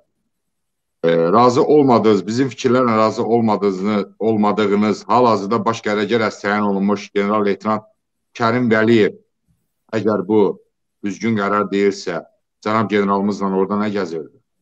Bu sualıma cavab istəyirəm sizdən. Bilirsiniz, yenə Qurban bəy, mən fikirlərimi tamamlamadım. Onu korpusun məsafəsində döyüşlər gedir. Və o döyüşlərə və orada baş verənlərə məsuliyyət bilavasitə korpus komandirinin üzərindədir. Polad Həşimovu da mən tam məsuliyyətlə deyirəm. Ya o göndərə bilər öz xəttə və göndərib də, yəni üçün orada idarə olunmaz bir durum yaranıbdır. O komandirlər üçün briqada, orada axır briqada komandiri var, briqada komandirinin müavinləri var, tabor komandiri, bölük komandiri, onlar idarə etsin. Niyə məhz Polad Haşimov general korpusun qərargah rəisi ora göndərilir? Bunu ancaq və ancaq göndərə biləcək şəxs Xaqani Cəbrayılov və ya qərargah rəisi göstəriş verib. Nəyə görə? Ona görə ki, döyüşlər zamanı bu iki şəxs məsuliyyət məs məsuliyyət daşıyan şəxslərdir. Onlar idarə edir bu döyüşləri. Onlar qərarlar qəbul edir. Amma o durumda Çin, yəni orada durum ağırlaşmışdı. Bəli. Müdafiə Nazirliyi ilə təcrübəsi olan uzun illərdir həmin o bölgələrdə, döyüş bölgələrdə xidmət edən Kərim Vəliyev göndəriblər, Nizam Osmanovu göndəriblər. Bəli, onlar gəlibdir. Məlumat toplamaq nəyə görə? Ona görə ki, çox vacibdir ki, hansısa bir qərar qəbul etmək üçün sən ön xəttdən məlumatlar toplayasan. Kərim Vəliyev deyir ki, bax mən gəlirəm korpusa. Korpusda savaş gedir. Mən məlumat ala bilmirəm. İflic vəziyyətdədir. Qərargah rəisi hardadır? Deyirlər ön xəttdə. Kərim Vəliyev harda olacaq? Gedəcək ön xəttdə kim bir görsün nələrdir? Hardadır qərargah rəisi? Qərargah rəisi arxada məlumatlar toplamalıdır. On xəttə yox. Və mən bir də deyirəm, telefon məsələsi bu inandırıcı deyil nəyə görə? Həmən o yüksəklik üçün orada vurulublar. Onlar ermənilərin tam nəzarəti altında və o postlardan için onlar idarə edirdi. O postları ermənilər artıq 26 il öncə onların koordinatları onlarda var. İndi o ərazilərdə döyüşənlər bilirlər. Mən o ərazilərdə briqada, korpus komandiri kimi xidmət etmişəm, o əraziləri bilirəm. Bütün strateji yüksəklər düşmandadır. Və o yollar üçün oradan KŞM gəlir, komanda ştabına, o idarə maşınları və s. Onlar hamısı onların nəzarət altındadır. Və axır o dalğalarda üçün onlar çalışır, əmirlər, göstərişlər verir. O dalğalar artıq düşmanda var axır. Onlar o dalğalar hardan onlar gedir, onların koordinatlarını müəyyənləşdirmək çox asandır. Siz için Elmar bəy, siz için hərbiçisiniz, siz bunları bilməlisiniz. İndi kimsə telefon verdi, telefonla danışdı, əziz həmvətənlər, bu gülüncdür. O pozisiyalar, Polat Həşimov orada olan pozisiyalar düşmanın düz nəzarəti altındadır. İsa bəy, bir dəqiqə qulaq asın mənə. Siz haqlı olaraq gözəl bir söz dediniz ki, korpus komandiri məlumat ala bilməyən də ön cəbhədən özü gedir yerində informasiya almağa. Düzmü başa düşdüm? Korpus komandiri yerində də axı. Yox, siz dediniz ki, əgər ön xəttdə baş verənlərdən dəqiq məlumat korpus komandiri və yaxud da bir başqa rəhbər belə dediniz də hamı da eşidir. Gedib ön cəbhədən informasiya almalıdır, getməlidir ora. Bu sualı, bu cavabı da nə vaxt verdiniz? Kərim Vəliyev niyə gedib ora? Bu suala cavab verdiniz ki, məlumat ala bilmir, gedib. Qur Qurban bəy. Bunu başa düşdüm. Qurban bəy, orada korpus komandiri yerində, korpus komandirin mavinləri yerində, qərargah rəisi yerində və bunu da göndərirlər. Təcrübə indi Müdafiə Nazirliyinə göndərirlər. Deyirlər ki, get gör nələr baş verir orada. Başa düşürəm. De deyirəm, düzmü başa düşdüm mən? Başqa sual verəcəm mən. Bəli. İndi fikir verin. Polad Həşimovla bağlı siz danışanda isə bəy, bu sözü Bəli. demirsiniz ki, yəqin Polad Həşimov məlumat ala bilməyibdi səngərdən. Yox. cəbhədən. Pəs Özü yedi- 2000, 2016-cı ildə də Polad Həşimov məlumat almırdı üçün göndərmişdilər bir taborla döyüşə. İcazə verin mən sualımı tamamlayım. Bu- Buyurun. Burada danışanda bəzi şübhəli məqamlar çıxır sizin dediklərinizdən. Siz Kərim Vəliyevlə bağlı danışanda deyirsiniz ki, Hı -hı. ön cəbhədə məlumat ala bilmədiyinə görə gedə bilər ora. Gedib. Qəbul mən inanıram sizə. Amma Polad da buna görə gedə bilərdimi? Bu bir sual. İkincisi, amma Kərim Vəliyev hətta məlumat almasalar da belə öz başına gedə bilməzdi ora. Siz bunu deyirsiniz. Onu göndəriblər ora. Deməli Polad Həşimov da ora göndərən var kimsə. Mən deyirəm də ki, Polad Həşimovu göndəriblər. Mən Adları da dedim. hamı qeyd eləsin. Adları da dedim kim göndəribdi də. İcazə verin. Sualları xahiş edirəm hamı hərbçidir. Qeyd eləsin. Mən bunu bilmirəm. Hərbçilər cavab verirlər bu suallara. Ben bir söz diyeyim Kurban Bey. İndi siz bir dəqiqə vaqifə, bir dəqiqə suallara qulaq asın. Üçüncüsü, Səbəy, siz dediniz ki, telefon məsələsi boş şeydir. Düşməndə bu koordinatlar var onsuz da. Bəli. Doğru mu başa düşdüm? Bəli, bəli. Düşməndə bu koordinatlar varsa, bizim onda başqa bölgələri, başqa səngərləri, cəbhələri generalları niyə vura bilmirlər? Əgər bunlarda bu hamısı varsa. Əgər bunlarda bu hamısı varsa, onda bu kəşfədə nə ehtiyac var? Ya erməni ya bizim. Üçüncü sual. Erməni Mən ola bilər ki, təbii ki, sualları bir-bir verin, mən bir-bir suallarınızı cavablandırım da. yox sual yox, bir dəqiqə suallar Döyüş, döyüşlər, döyüşlər axır, döyüşlər axır o İcazə istiqamətdə. verin mən sualı tamamlayım. Xahiş edirəm hamı sualı qeyd edək. Dedim əvvəldən ki, efirə çıxanda həmişə uruşqa kağız kağızla çıxmaq lazımdır ki, yaddan çıxmasın bu deyilənlər. Üçüncü ən vacib bir şey nədir? İsa bəy. Ola bilər ki, mən tamamilə razıyam sizinlə. Dağın təpəsidir. Onu indiki texnologiya ilə koordinatın tapmaq çox asan şeydir, çətin şey deyil. Amma Telefon bilirsiniz nə, nə vaxt istifadə olunur? O gün də dedilər bizim efirdə. O Dudayevin başına rəhmətdən gələnlər. Dəqiq nöqtə atışı üçün mütləq bir adamı vurmaq üçün o adamın məhz orada olduğu bilinməlidir. Sənin koordinatın bilinən bilər. Sən bilə bilərsən ki, bura en nə bilim en kəsi belə oldu, paralel belə getdi. Elə bilə tapa bilərsən səngər amma Polat Həşimov general, ermənilərin tələb etdiyi general, başa baş generala general olan adam oradadır yoxsa yox. Bunu yalnız və yalnız telefonla xəbər verilə bilər. Bunun başqa heç bir yolu yoxdur. İsa bəy. Bunu məsələ yoxdur. Özdə bu şeyə yaxşı bilən adam kimi deyirəm ha. Mən sizə hərbiçi kimi deyirəm ki, ha. korpusun qərargah rəisi 10 xəttdə olmamalıdır. Əgər o ön xəttədir, o pozisiyalar, döyüşlər orada gedir. Komandalar oradan verilir. İdarə oradan olunur. Ona görə də düşman da axır axmaq deyil. O bilir ki, harda hansı hərəkətdir, harda komandanlıq yerləşir, hardan onlara müqavimət göstərirlər, atəş açırlar. Başa düşürsünüz? Ağzını deyəsən tutmaz siz. Komanda verilə bilər. Sual belədir. Hı. Erməni hardan bilirdi ki, Hı. Polad axtardığı Polad Həşimov hansının ki başını istəyirdilər. Hansı ki erməni generalını vurmuşdu, erməni yasab qarq eləmişdi. O Polad Həşimovun məhz o səngərdə olduğunu hardan bilib erməni? Sizcə orada hansılardır? Qurban bəy, siz bilirsiniz, orada Polad Həşimov yox, kim deyirsiniz ola bilərdi? O pozisiyada. Başa düşürsünüzmü siz?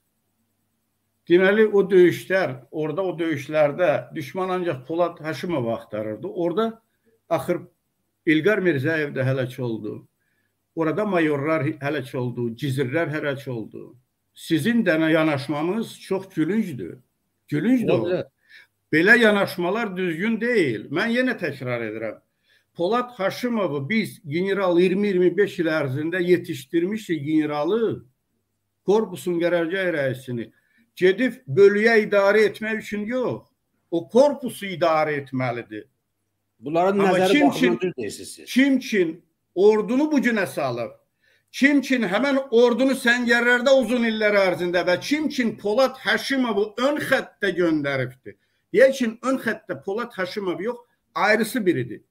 Orada ayrısı biri də həlak ola bilərdi. Nəyə görə? Ona evet. görə ki, korpus yenə deyirəm, korpusu gəlib korpusun idarəsinə çatmaq üçün orada tabırdır. Tabırdan sonra brigada gəlir. Komandir brigadı, komandir brigadanın müavinləri var, qərargah rəisi, nəzəriyyə danışmırıq, qardaşım. İcazə verin. Deyəsən siz ya mən sualı verə bilmirəm, ya siz sualın məğzini tuta bilmirsiniz. Yox, siz və bunun nizamnamə ilə nəzəri qulaq asın bir dəqiqə. Nəzəriyyə ilə necə olmalı olduğunu danışmırıq. Sizə bilirsiniz gülüş gəlir bu məsələlər, belə qeyri-adi gəlir. Ona görə ki, siz dəqiq bilmirsiniz ki, məhz Polad Həşimovun başını erməni almaq üçün 2016-cı ildən plan yazırlar və məhz Polad Həşimov qurban vermək üçün ona general verdirirlər Onu göndərirlər Səngərə, yerini də dəqiq bildirirlər. Məhz Polada görə onun yanındakı polkovnik də şəhid olur, mayor da şəhid olur. Bunlar siz bilmirsiniz gülməli gəldi bu şeylər. 2016-cı ildə Poladı niyə göndərmişdilər irəli? Mayız Barxudarov niyə tankla irəli getmişdi? Bunları bu ordu bu durumdadır. Qurban bəy, ordu başa düşürsünüzmü? General gedib bölüyü idarə edir. Ordusun mövqeyi aydındır. Elmar bəy buyurun. Sonra Vaqif bəy danışır. İndi qoy Hə, qoy mən indi indi qalxıb o, yəni mən deyim Elmar bəy, siz danışdınız o kəşfiyyatla bağlı. Mən sizə döyüş nizamnamələrdə nə olur, necə olur, elə danışım. Mən də ordunun və orduda olan o komandirlərin səviyyəsi bəllidir.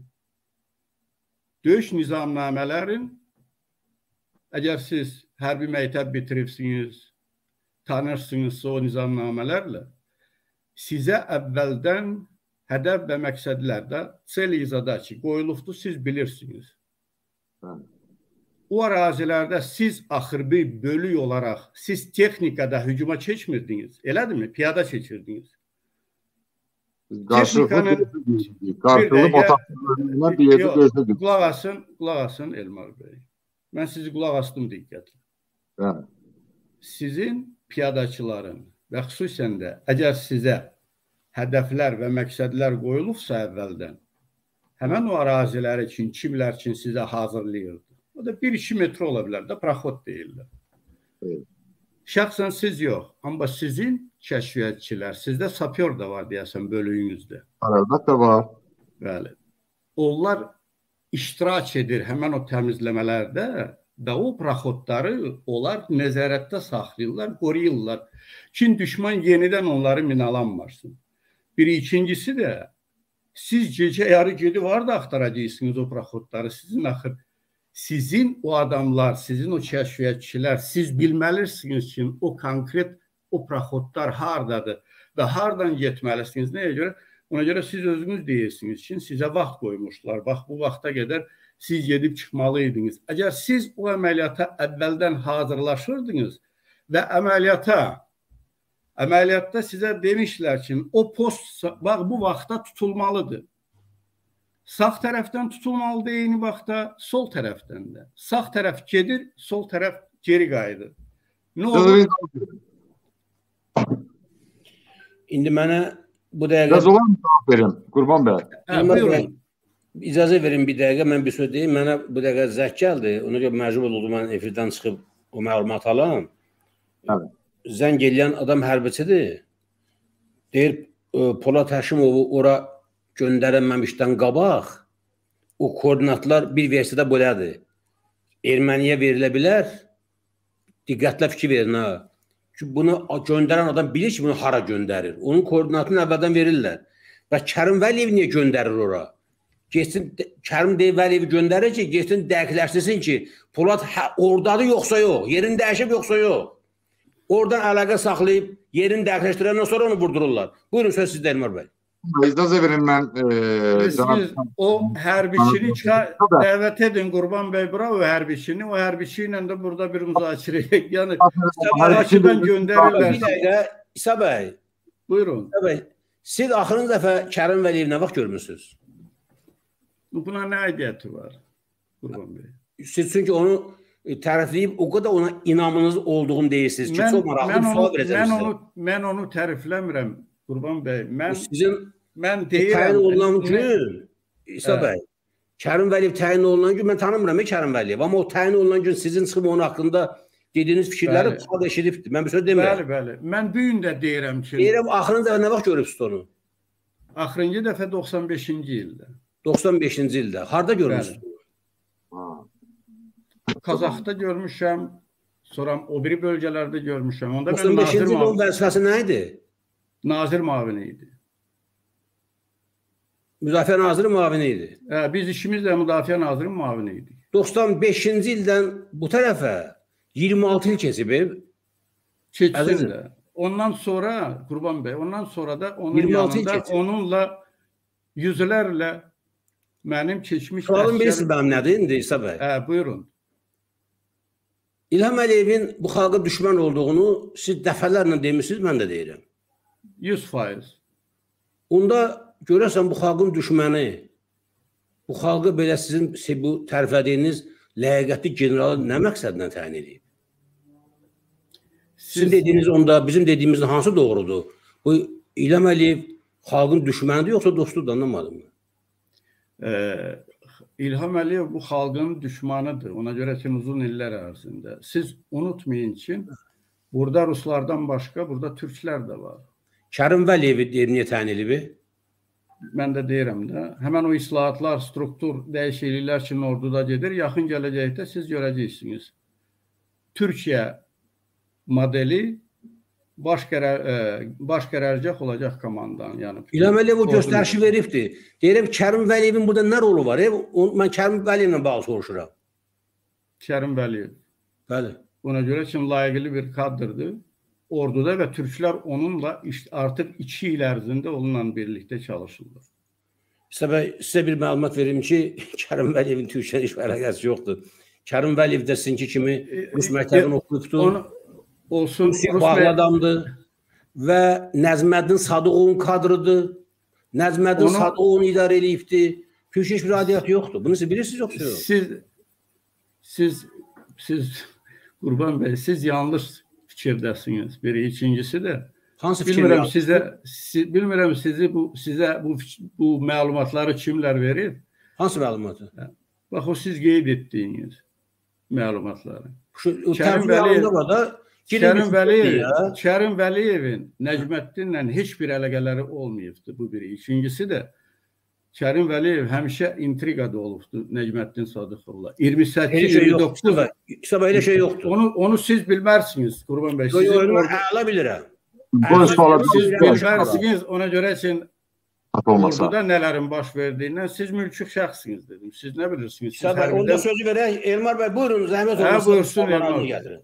Buyursun. Tabii sualına cavab olaraq deyirəm ki, bəli, düz deyirsiniz. Mənim kəşfiyyatımda, qruplarımda öz motatlı və o cümlədən e, kəşfiyyatı icra edən yarım qruplarım hər bir şey təyinatlı qrup rəhbərim və o cümlədən e, belə deyək, bot, e, mina təmizləyənlər şəxslər var mənim qrupumda, bəli, düz deyirsiniz. Amma nəzərə alın ki, biz 10 gün öncə biz bütün bölmə şəklində təlimlərə cəlb olunmuşuq. Və bu təlimlərdə biz motatçı bölmələrlə qarşılıqlı əlaqədə işləyimiz və o cümlədən bizim həmin postu alandan sonra siqnal işarəmizdən sonra motatçı bölmə və onun zirehli texnikaları ilə birlikdə mənim yanıma gəlinmə əmri göstərilir. Əgər bu yol açılmayıbsa, baxın, əgər mənə deyilsə ki, sən çıx siz demiş 1-2 metrlik məsafəni özün aç, baş üstə. Mən onu bir gün qabaq icra edərdim. Amma iki gün öncədən briqadanın və korpusun tabesində olan bax o sapyor bölmələri göndərilib ki, gedin bu işləri icra edin. Sağ və sol cinayət istiqamətində. Və onlar iki gün tamamında gəlib ki, biz hər iki istiqaməti icra etdik. Burada mənim günahım varmı?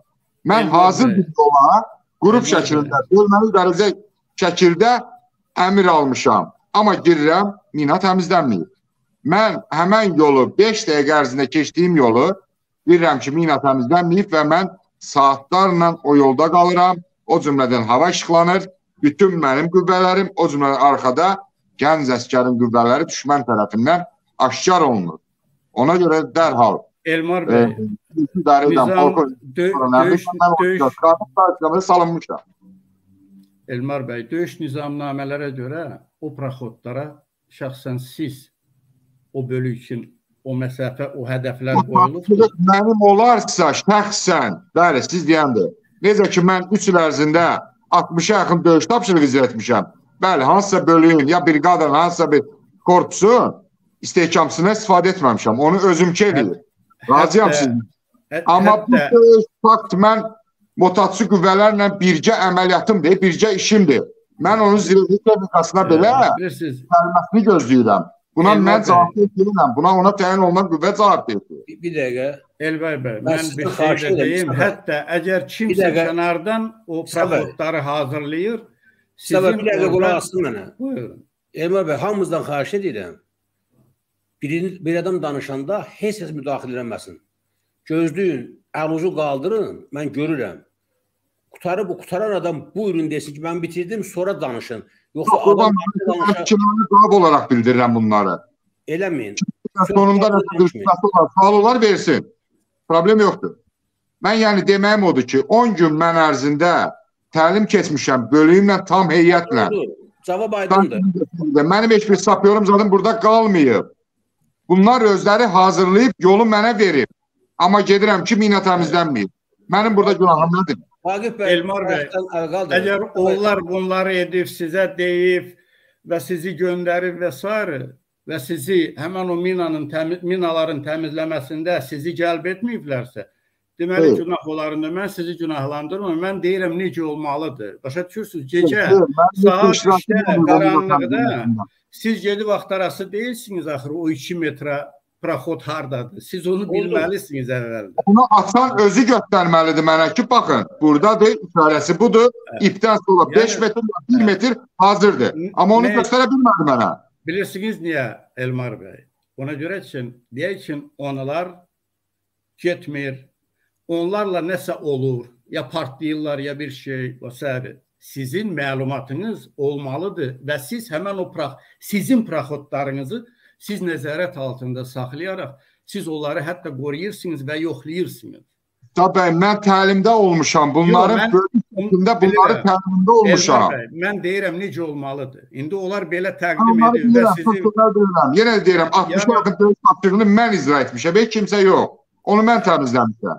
Amma bu mənim tapşırığım deyil. Bu ümumi motaçılarla qarşılıqlı əlaqədə olaraq verilən tapşırıqdır. Təşəkkürlər. yəni Elmar bəy, təşəkkürlər. Biz burada o məsələlərə aydınlıq gətirdik. Elmar bəylə bağlı olan məsələlərə. Bizim əsas vəzifəmiz İcazə verin ikinci fikrimi söyleyeyim mən. Vaqif bəy mən- məndən əlqadır. İmkan vermir söz verin Vaqif bəyə. Qurban bəy var mı? bağlı bir fikrim var, onu deyim sonra. Elmar bəy, mən bir nə demək istəyirəm? Burada 6 aydır Qurban bəy Tərtər faciəsini araşdırır. Bəli. Bu araşdırmalar əminəm ki, nəticə verəcək. Daha bütün dünya Əlbəttə bu verəcək. gün də bu gün də de- deyilənə görə məruzəçilər təyin olunacaq Tərtər işi ilə bağlı. Avropa Şurasında. Ona görə də indi diqqəti harasa yayındırmaq və s. zaman gələcək, bütün hamısı araşdırılacaq. Tovuz faciəsi də, aprel döyüşləri də, elə bu Tərtər faciəsi də. İndi əgər əsas mövzu Tərtərdirsə, indi o üzr istəyirəm. Harasa yönəltmək Vəkil oldu. Ay İsa bəy, sən danışmısan o gündən ona görə də belə bir çıxıb mövzu müzakirə ediyor. Mən indi cənab generalımızla görə- bağlı sözünü istəyirəm. Mən Ben üzr istəyirəm Sabah, buyurun, çox özür buyurun, istəyirəm. buyurun, buyurun. Bu fikriniz, bəli, gö gözəl vurğuluyorsunuz. Korpusun gələcək rəisi döyüş mövqeyində nə gəlir öndə? Razıyam sizlə.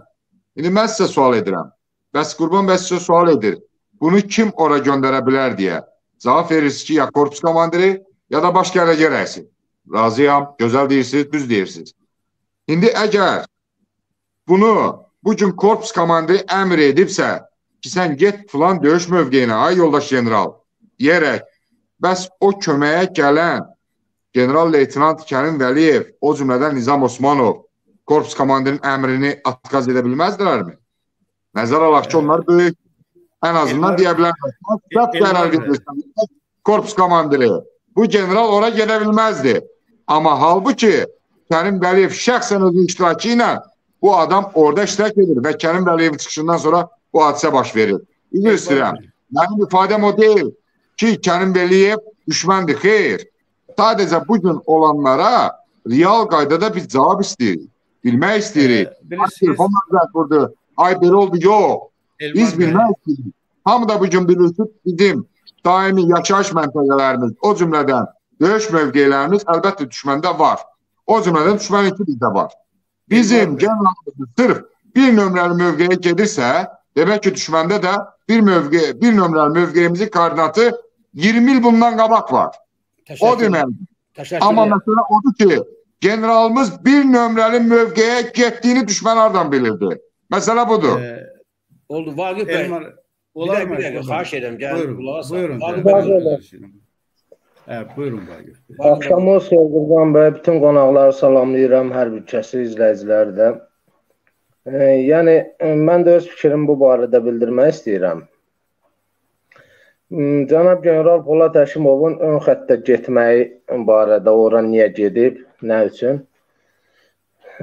Səhv etmirəmsə bildiyimə görə manqadan e, yuxarı bölmələr, tağım, bölük, tabur, briqada korpus üzü yuxarı. Bunlara dayaq məntəqəsi və dərinlik verilir. Bir manqa xaric.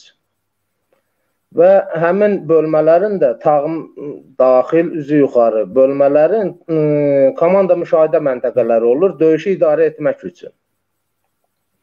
Həmin komanda ıı, komanda müşahidə məntəqələri Məsəl üçün tağım komandirisənsə, tağımın e, elə bir yerində qurulmalıdır ki, tağımın qarşısının cəbhəvin cəbhəvin 3də 2 hissəsini ən azından görməlisən. Mən bildiyimə görədir. Bu yəni unutmamışamsa, ola bilər hardasa səhvə yol verərəm.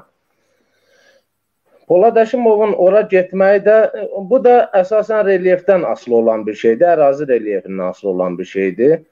Polad Həşimovun ora getməyində mən bir şey görmürəm. Yəni ki, ola bilər ki, indi onun həmin o briqada tərəfindən o əra onun olduğu yerdən ərazi görünən yer olub. Burada da yanında artilleriya rəisi e, polkovnik orada olub. İlqar Mirzəyev. Bəli, İlqar Mirzəyev orada olub. Onun yerinin təyin olunması ilə bağlı bir şey deyim. Elmar öz kəşfiyyatçı olub bilir. Bizim e, motatçı bölmələrdə kəşfiyyat e, müşahidə postları olur. Həmin müşahidə postları orada düşmən tərəfi daim nəzarətdə saxlayırlar.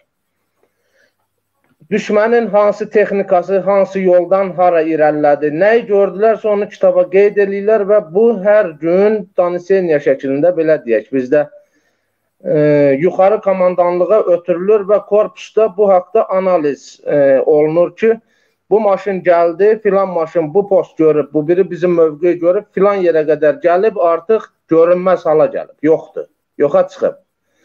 Sonra düşmən bizim oldu, bizim kəşfiyyat işlədiyi kimi düşmənin də kəşfiyyatı var. Düşmən güya bilmirmi ki, korpusun komanda müşahidə məntəqəsi hardadır, briqadanın komanda müşahidə məntəqəsi hardadır. O bilmirsə, demək onun kəşfiyyatı işləmir, yəni kəşfiyyat məlumatı yoxdur. Bu şəkildə də yerin təyin edə bilərlər. Çox variantla təyin edə bilərlər. Bir də bizdə e, bayaq telefon məsələsini qeyd elədiniz Qurban bəy. Rabitə sistemi bizdə çox ə, zəif bir vəziyyətdədir.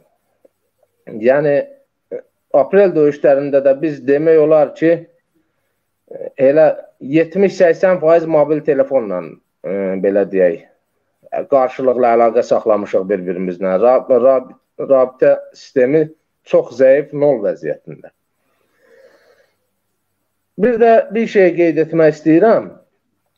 Elmar qardaş dedi ki, şey, o minalı sahədən keçidlə bağlı bizdə aprel döyüşlərindən sonra Talış yüksəkliyin qarşısına orada olanlar bilir də, şahiddirlər.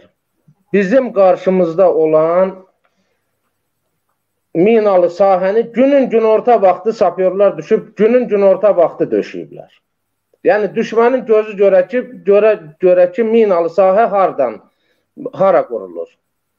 Mən hətta orada Sapyor rəisinə dedim ki, bu yaxşı 2 cərgə, 3 cərgə minanı qurmusunuz. Bir cərgədə heç olmasa gecə çıxın bir dənə qurun ki, bunlar heç olmasa arxayın gəlib həmin ərazini keçə bilməsinlər də. Ora kimi arxayın gələcək bilirlər də təxmin yer ki, minalı sahə filan yerdən filan yerə qədər 5 metr, 6 metr məsafədir. E, dedilər amma bizlik deyil, nə bilim nə. E, elə gündüzdə qurdular. Ancaq biz düşmən tərəfin, ermənilərin bir dəfə də olsun gündüz vaxtı çıxıb mina döşədiyini ora görmədik. Görmədik ki, onların minalı sahəsi hardandır, e, səngərlərindən nə qədər qabaqda başlayır, nə qədər məsafə qabaqda qutarır. Ancaq bizim minalı sahə açıq-aşkar gözlərinin qarşısındaydı. Gündüz vaxtı tökülüb düzürdülər ora. Onu ona görə onu bildirmək istirdim ki, yəni burada indi bilinmir. Mən onun dəqiqliyini bilmirəm. Cənab generalın şəhid olması ilə bağlı ki, o komanda müşahidə məntəqəsində şəhid olub, yoxsa səngərdə şəhid olub. Ola bilər ki, yəni onu demək istəyirəm ki, ola bilər ki, briqadanınmı, korpusunmu, komanda müşahidə məntəqəsi ərazi baxımından ərazinin e, ən azı heç olmasa yarı hissəsi görünmürsə, məcburdur ki, görünən bir hissəyə gəlib çıxıb oradan görüb döyüşü idarə etməlidir. Ola bilər ki, səngərdən 10 metr arxada da ola bilər, 50 metr arxada da ola bilər. Burada Qurban bəy olarmı bir şeyi əlavə edin? Burada siz nəzəri baxımdan, hərbi deyək ki, nəzəriyyə baxımından, nizamnamə baxımından çox şey deyə bilərsiniz. E? Mən də deyə bilərəm. Burada vacib olan hüquqi baxımı araşdırılmalı. Bir neçə çox sadə məsələ var. Mən onu İlhan bəyə qardaşına demişdim getsin müstəndiqlə mütləq maraqlansın, bu sualları versin. Və o da aydın olub ki, o sualların heç biri araşdırılmayıbdı. Kərim Vəliyevin ora gəlməsi mütləq araşdırılmalıdır ki, nə məqsədlə gəlmişdi ora? Kim göndərmişdi ora? Hansı tapşırıqla gəlmişdi ora? Gəldi neynədir orada? Əgər bu polo daşıma orada olmalı deyildisə, nəyə görə qaydanda Kərim Vəliyev onu özündən aparmır. Yox, əmrə tabi olmursa, niyə gəlib məruzə edib tədbir görmürlər? Bu şeylər hamısı araşdırılır. Qurban bəy. Qurban bəy, axır Kərim Vəliyev komandir Bəli, dedim axı qutaranda deyəcəm buyurun. Belə xor danışanda alınmır. İkincisi ən vacib məsələ. Məhz Polad Həşimovun orada olmasını erməni yalnız və yalnız dəqiq məlumat almaqla oraya arenti və telefon zəngi ilə ki, oradadır. Sizə əvvəldən verdiyimiz koordinatlardadır. Vurun. Bunun başqa bir yolu yoxdur. Bu təsadüf deyil. O günləri İsa Sadıqov bir söz dedi. Açığı mən efirdə o qədər belə qəflət oldu ki, o söz gözləmirdim İsa Sadıqovdan ki, 200 metrlik məsafəyə 700 mərvə atımı aldı və təsadüfən dəyim ona. Birisi də tərdi. 2016-cı ildə Mən demədim, dedim normativ belədir. Başa düşürsünüz Qurban bəy?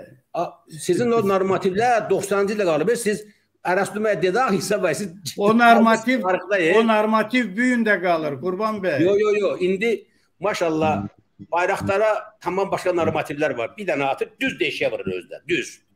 Koordinata nə verirlər ki, bir dənə atır, ikincisini yox. Ona vaxt itirməyək. Gəlin belə Qurban deyək. bəy. Bizim, efirdə bu günlərin mayor, özə kəşfiyyatın mayoru Fərid Qəribov da iştirak eləyir. Hər halda bu barədə onun daha çox məlumatı var. Mayor, buyurun cənab mayor, buyurun. Salam, axşamınız xeyir olsun. Salamlayıram hər birinizi, bütün izləyiciləri salamlayıram. Hərbiçi yoldaşlarımı, cənab polkovnik Səsadovu salamlayıram və ə, şəhid ə, generalımızın qardaşını salamlayıram. Ə, əvvəlcədən qeyd edim ki, deməli ə, həmin ərazidə istər düşmən tərəfdə, istər bizim tərəfimizdə ərazidə vizual müşahidə postları var. Və vizual müşahidə postlarında orada divarda ə, nəqliyyat vasitələrinin şəkilləri vurulur.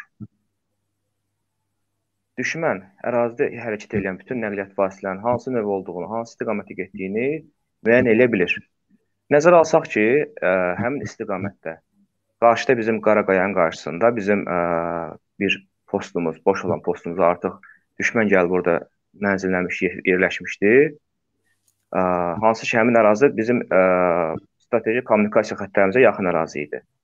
Həmin ərazinin, həmin postun geri alınması üçün ə, tədbirlər görülür ilk növbədə və ə, korpusun qərargah rəisi, artilleriya rəisi, digər xidmət rəisi və zabitlər həmin sırf sırf ə, deməli düşmən tərəfindən ə, müvəqqət tutulmuş postun qarşısındakı posta ə, deməli plan hə deməli növbəti addımları planlaşdırırlar. Burada düşmən hansı ki vizual müşahidə postunda duran heyət həmin postda cənab generalın ə, şəhid olduğu postda hərəkət edən nəqliyyat vasitələrini müşahidə edə bilir. Bilir ora hansı nəqliyyat vasitəsi hərəkət edib. Və onun növünü, oradakı ə, hərəkətliliyi görür ilk növbədə. Eyni zamanda belə deyək, əgər bir postda, bir istiqamətə korpusun qərargah rəisi ikinci deyək, burada ikinci adlandı, ikinci gəlirsə, artıq ə, məxfi belə deyim də məxfi rabitə ilə gizli ə, naqil simli rabitə ilə əlaqə yaddan çıxır. Hər kəs bir-biri ilə GSM açıq rabitə ilə əlaqəyə çıxır. Hələ yerindədirmi? Ordadırmı? Yəni düşmən bizim mən sizə açıq deyirəm ki, biz dəfələrlə bizə məlum olub ki, Serj Sarkisyan filan istiqamətdədir. Cəlal Arifyan filan istiqamətdədir. Filan posta gəldi. Orada 5 dənə qara nəqliyyat vasitəsinin hərəkəti müşahidə olundu. Arxa, arxasında GSM rabitəsi tutuldu. Məlum oldu ki, ikinci filan istiqamətdədir. Məsələ burasındadır ki, ə, Polad Həkimovun həmin həmin postda olması dəfələrlə istər korpus komandiri, istər ə, digər korpusun elə eləcə, eləcə də ə, Müdafiə Nazirliyinin rəhbər heyəti ilə hazırki ba- Azərbaycan ordusunun baş qərargahı Kərim Vəliyevin, general Kərim Vəliyevin hansı istiqamətdə olması barəsində düşməndə məlumat olur. Burada problem bir şey yox. Hər iki tərəf bunu olur, bilir. Burada yenə də burada maraqlı məqam odur ki, ə, nə üçün əvvəllər də bütün istiqamətlərdə bizim rəhbər olması barəsində düşməndə məlumatlar olub. Nə üçün Polad Həşimov orada olduğu zaman düşmən həmin atəşi açıb. Maraqlı məqamlardan biri budur.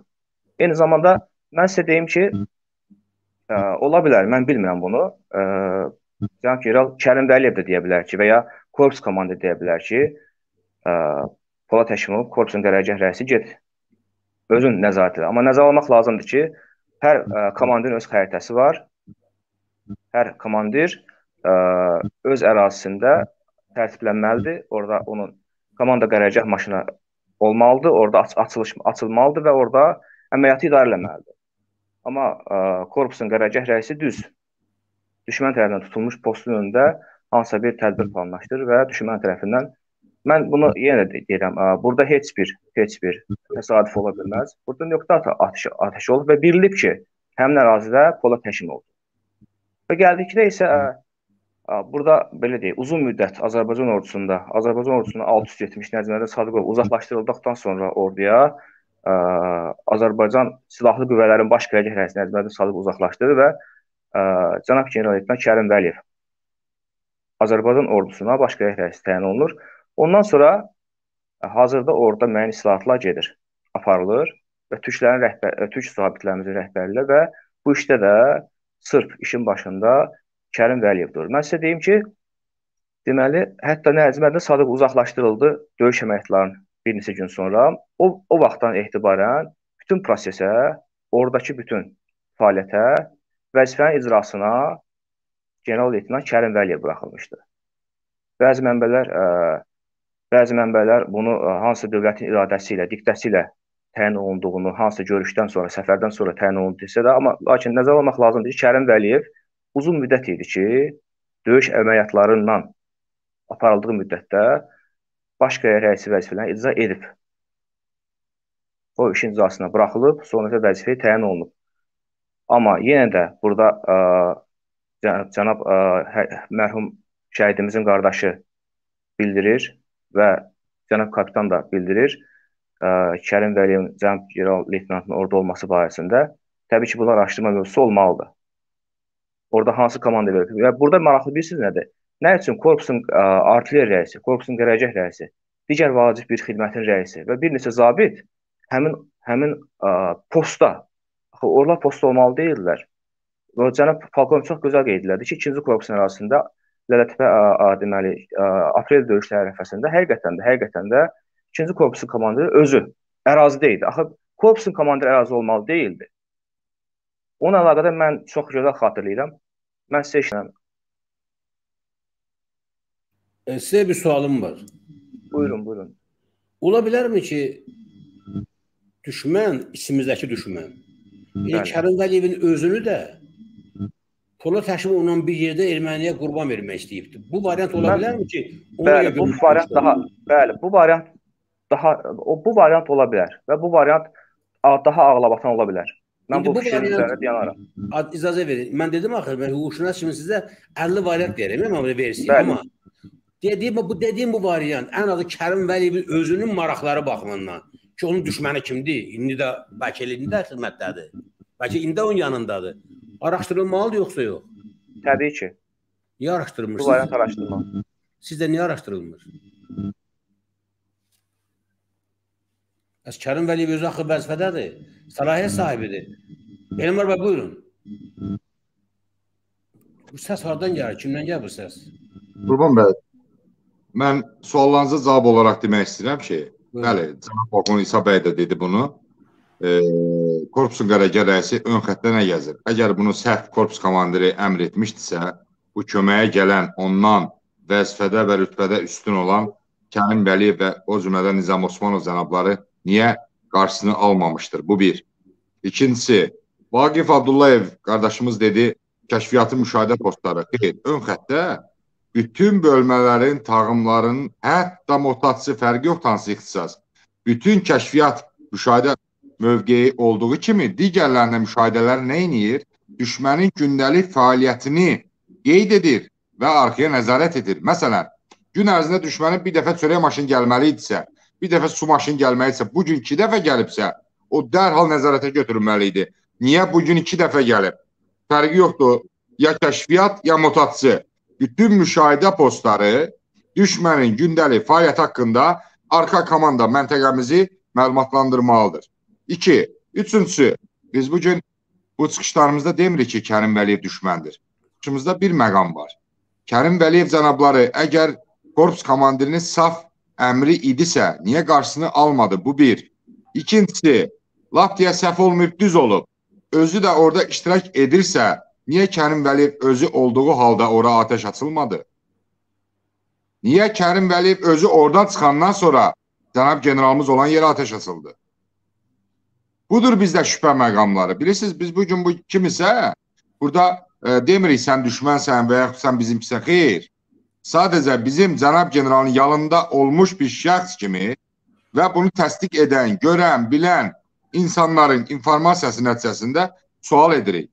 Kərim Vəliyev cənablarının, cənab mərhum general Polad Həşimovla bir yerdə olmuşsa, niyə o özü olduğu halda deyəcək ki, siz deyirsiniz, bəlkə Kərim Vəliyevin özünü də məhv etmək istirmiş. Razıyam sizlə. Niyə özü olduğu halda yox, özünün çıxmağından 5-7 dəqiqə sonra və özü də öz dili ilə bu sözləri təsdiq etmiş halda niyə sonra 3 atəş, üçü də dəqiq atəş olmuş sayılır? Bax buna istəyirik suala cavab ola. Sabah bir dəqiqə mikrofonunuzu açın, bir dəqiqə, bir dəqiqə, bir dəqiqə. Buyurun. Sabah buyurun. Elmar bəy, e, siz bilirsiniz ki, korpusun məsafəsində baş verənə baş verənlərə məsuliyyət daşıyan ancaq və ancaq korpus komandiridir və ora heç kəs müdaxilə edə bilməz. Əgər o yerindədirsə, vəzifəsini icra edir. Kərim Vəliyev ora korpus komandiri kimi gəlməmişdi. Siz özünüz bilirsiniz ki, belə əməliyyatlar, döyüşlər gedəndə gəlirlər, göndərirlər də Müdafiə Nazirliyinə. Yəni podkrepleniya belə deyirlər. Hardasa məsləhət vermək, hardasa. Bu biri. İkincisi də Qurban bəy, mən deyim, mən bunu ən azı 25 ildir deyirəm. 25 il ərzində adi lokal savaş, müharibə, əməliyyatlar hazırlanırsa, o əməliyyatları baş qərargah təsdiqləyir, razılıq verir və təmin edir o döyüşləri. Bilir ki, orada döyüşlər gedəcək, lazım olsa əlavə qüvvələr və təmin edir o döyüşləri. Əgər o lokal müharibə hansısa bir istiqamətdədir, bu əvvəldən hələ bizim hazırlıq məqamımızda düşman buldular artıq o əməliyyatdan məlumatlıdır və o əməliyyat o istiqamətə lazımi qədər qüvvələr cəmləşdirir. O bilir hansı istiqamətlərdən, hansı qüvvələrdən ora hücumlar olacaq. 2014. yılda April döyüşləri bunu heç kəs inkar edə bilməz. Tovuz döyüşləri də hələ o hazırlı əvvəldən razılaşdırılmış savaşdan idi. Mən dəfələrlə xırqey deyirəm, arxası Gədəbəy idi. Gədəbəydən Şəmşiddinə 10 mərmi töksəydiniz, bununla da məsələ bitəcəydi. E, müharibə dayanacaqdı. Bunu etmədilər və burada da mən bir şey deyim sizə. Plotnost yagnya deyirlər. Düşman bütün qüvvələrini bilərək üçün icaza və razılıq ancaq bu dörd kənd istiqamətində verilib və bütün qüvvələrindən, imkanlarından, toplarından ola şey eləyir, tökür o mərmiləri zadı. Bax, həmən o dörd günlük müharibədə Qurban bəy, o ərazilərdə hərəkət etmək mümkün deyil. Siz təsəvvür edin. Nəinçin ön xəttdə Polad Həşimovu elə bir məqamda heç əlavə qüvvələrə də ehtiyac yox idi. Polad Həşimovu ön xəttə göndərməyə də ehtiyac yox idi. Nəyə görə? Ona görə ki, ən azı 27 il əvvəl sistem atəş sistemi hazırlıq olmalıdır və hər anda hansı istiqamətdən atəş açılırsa, o nöqtələr tamamilə məhv edilir. Bu gün bax Polad Haşimovdur, bizim o biri generallardır, indi o zabitlərdir. Bütün hadisələr baş verənlər onların hamısında günahkar əziz həmvətənlərim. İlham bəy, Allah Polada bizim qəhrəmanımıza rəhmət etsin. Qəhrəmanımızdır. Generalımızdır. Bax, baş verənlərin və onun şəhid olmasının günahkarı Əliyevdir. 26 il ərzində o islahatları kim biz apara bilərdik, o islahatlar aparılmadı. O reformalar keçirilən keçirilmədi. Profesional ordu yaradılmadı. Elə bu antiterror əməliyyatı zamanı 44 gün ərzində 3000'den çox biz şəhid verdi. Niyə baş verdi? Ona görə ki 18-19 yaşında uşaqlar və təcrübəsiz komandirlər, o komandirlər kimi uzun illər ərzində səngərlərdə çürüyürdü. Elmar bəy, bax siz bölük komandiri olaraq neçə dəfə deyək ki, təlimlərdə iştirak etdiniz, döyüş təlimi, yəni zboyovoy strelboy, taktiki uçeniya, zboyovoy. Belə təlimlər bax o müddət ərzində ki, siz xidmət etmişdiniz. Bizim o ərazilərə uyğun, o şəraitdə Siz o təlimlərlə məşğul idiniz bu. O hazırlıqlar var idimi sizdə? Ümumiyyətlə orduda deyirəm. Bax siz xidmət etdiniz, deyək ki, o korpusda, briqadalar. Axır yox idi bunlar. Yox, Biz bunu dəfələrdir. Tabii. Sırf bayavoy təlimlər, yəni bayavoy silah, güllə, hətta əl qumbarasına kimi sırf kəşfiyyat ixtisasında bütün bölüyün, tağımın təlimləri e, tam Bayavo ilə keçirilib. Buna şəxsən mən cavab verirəm. Olub. Bayavoy. İsa bəy, real. İsa bəy, Real döyüşlər olacaq. O cürdə təlimlər olub. Elmar bəy təşəkkürlər. Ba bayaqdan İlham bəy əl qaldırır, bir də Ruslan bəy. Gəlin belə eləyək. Son söz demək istəyirəm, xahiş edirəm Qurban bəy. Çox xahiş edirəm. Son sözə ehtiyac yoxdur hələ. Deyil, yəni son İsa bəyin fikrinə bir söz demək istəyirəm. Buyur. Əgər orada korpus komandirinin fikri var idisə, əgər bu gələn qonaqlar onun əmrinə, fikrinə müdaxilə edə bilməyəcəkdisə, orada nə gəzirdilər? Onların, Sual. sala onların o səlahiyyətləri yox idi. Müdaxilə edə bilməyəcəklərsə, niyə cənab generalın ön xəttə döyüş mövqeyinə getməsinə icazə verirlər? On, onlarda Yaxud bu baş qərargah rəisindən əmr varsa, onu bir kəlmə qısa konkret desinlər, xalq da bilsin, biz də bilək. Tutarsın getsin bunlar. El, Elmar bəy, o göndərilənlərdə o səlahiyyətlər ola bilməz ki, onlar korpusun o baş verənlərə müdaxilə etsinlər bilavasitə. Yox, qətiyyən. Nəyə görə yenə də təkrar edirəm. Korpusun məsafəsində baş verənlər ancaq və ancaq korpus komandirinin məsuliyyətidir. İsa bəy, biz də onu deyirik. İsa bəy. Elmar da siz deyən deyir də və deyir ki, səlahiyyəti yox idisə niyə gəlmişdi ora? Biz də deyirik ki, gəliblər onu oraya Ha, Qurban bəy siz baxır Elmar bəy bilir, Elmar bəy göndərirlər, o gedir ora. İsa bəy, gəlin belə eləyək. Bu məsələni belə yekunlaşdıraq. Burada iki hələli versiya var. Ya Kərim Vəliyev özü erməniyə Poladın yerini bildirmək üçün gedib ora, ya da onu ora göndərən adam var ha. Mədə o göndərən adam Poladın yerini dəqiq erməniyə bildirmək üçün Kərim Vəliyev istifadə edibdi. Mənim bir sualım var. Elmar bəy, Kərim Vəliyev 2017-ci ilin may iyun aylarında hansı vəzifədə olub? E, Müdafiə Nazirinin tərbiyəvi işlər üzrə müavini olub bildiyim qədər. Müdafiə Nazirliyinin Tərbiyəvi İşlər üzrə müavini. E, İsa Sadıqova istəyirəm bu sual verəm. İsa bəy, sizcə Müdafiə Nazirinin Tərbiyə İşləri üzrə müavininin 2017-ci ilin may-iyul aylarında Tərtərdə baş verən işgəncələrdən xəbəri olmaya bilərdimi? Xəbəri olsaydı hansı tədbirləri görməli idi? Bu barədə zəhmət olmasa fikrinizi bilmək istəyirəm. İndi o hadisələrlə bağlı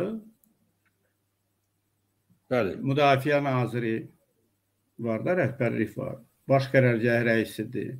Ali baş komandandır. Onlar gördükləri tədbirləri o birilər də görə bilərdi. Əgər onlarda o səlahiyyətlər olsaydı. O səlahiyyətlər onlarda yox idi. Siz bilirsiniz. İsa bəy başa düşmədim. Mənim sualımı başa düşdünüz siz? Mən başa düşdüm, çox gözəl də başa düşdüm. Bir də sualımı təkrar edirəm, əzizən vətənlər. Deməli, Kərim Vəliyev 2017-ci ilin may-iyul aylarında eşitdiniz ki, Müdafiə Nazirliyinin Tərbiyə İşləri üzrə Nəzarət bir müavin olub. Müdafiə Naziri müavini olub. Yəni mənim və sizlərin hərbi xidmətə göndərdiyimiz övladlarımızın oradakı sahiblərindən biri olub. Özü də adi adam olmayıb. Müdafiə Naziri müavini olub. Sual belədir. 2017-ci ilin may-iyul aylarında Tərtərdə sizin də qınadığınız, sizin də üstünə getdiyiniz isə bəy, bu dəhşətli cinayətdən onun xəbəri olmaya bilərdimi? Çünki xəbər olmayıb bunun. Bu bir. İkincisi, xəbəri olubsa hansı tədbir görməli idi? Vəzifəsi nə tələb eləyirdi? Siz bayaq indi dediyiniz cavab verdinizsə, o sizə yaraşan cavab deyil, cənab İsa Sadıqov. Cənab Nə cavab? Nə cavab yəni siz? Nəyi nəzərdə ki, tutursunuz? filan kəsdə nə bazardı, bu da onu eləyə bilər. Mən oğruyam, o demək siz də oğru olmalısınız. Hər kişi özünə cavab etdi. Mənim sualım konkretdir. Müdafiə Nazirinin müavini olan bu Vəliyev, Kərim Vəliyev nə etməli idi nizamnaməyə görə? Sən sizə bundan so- soruşuram. Deyəsən sizdə dostluq hissləri çox güclüdür. Belə mən biləsiniz, doğma qardaşım da olsa, doğma övladım da olsa, haqq olan yerdə nahaq müdafiə edə bilmirəm. Öldürsə elə bilmərəm onu. Bunu mənim bütün qohum qardaşım bilir, övladlarım bilir. Amma İsa bəy sizdə deyəsən dostluq hissləri o qədər güclüdür ki, elə bir gözünüzü məhəbbət yumur. Sual Bilirsiniz, mən Kərəm Vəliyevlə sizə bağlıdır. Bax Mən- İlham Əliyev düşməndir. Nəzməddin düşməndir, Zahid hamısı düşməndir. Elmar Allah verir düşməndir. Sual belədir ki, Kərim Vəli bu düşmənlərin içində 2017-ci il may iyul aylarında baş verən hadisələrə nə reaksiya verməli idi? Buyurun. Bilirsiniz Qurban bəy, Bəli. bu uzun illər ərzində etiraz edənlər olubdu. Elə onlardan biri mən olmuşam da vaxtilə. Vahid Musayev, Hacı Rəhim Məmmədov və s. Onların taleyləri bəllidir. Kərim Vəliyevdə elə bir səlahiyyət yox idi ki, bunu araşdırsın və hansısa qərarlar qəbul etsin. Bu biri. İkincisi də bu gün siz araşdırırsınız da bu hadisələri, prosesləri. Bu gün orduda on minlərlə əskər və zabitlər xidmət edir. O zabitlər üçün uzun illər ərzində bax belə təqiblərə məruz qalırdılar. Onları aşağılayırdılar, təşkil olunmuş müharibələr təşkil edirdilər belə müharibələr. O müharibələrdə biz itkilər verirdik və s. Milli kadrlar sıradan keçirir, çıxarılırdı.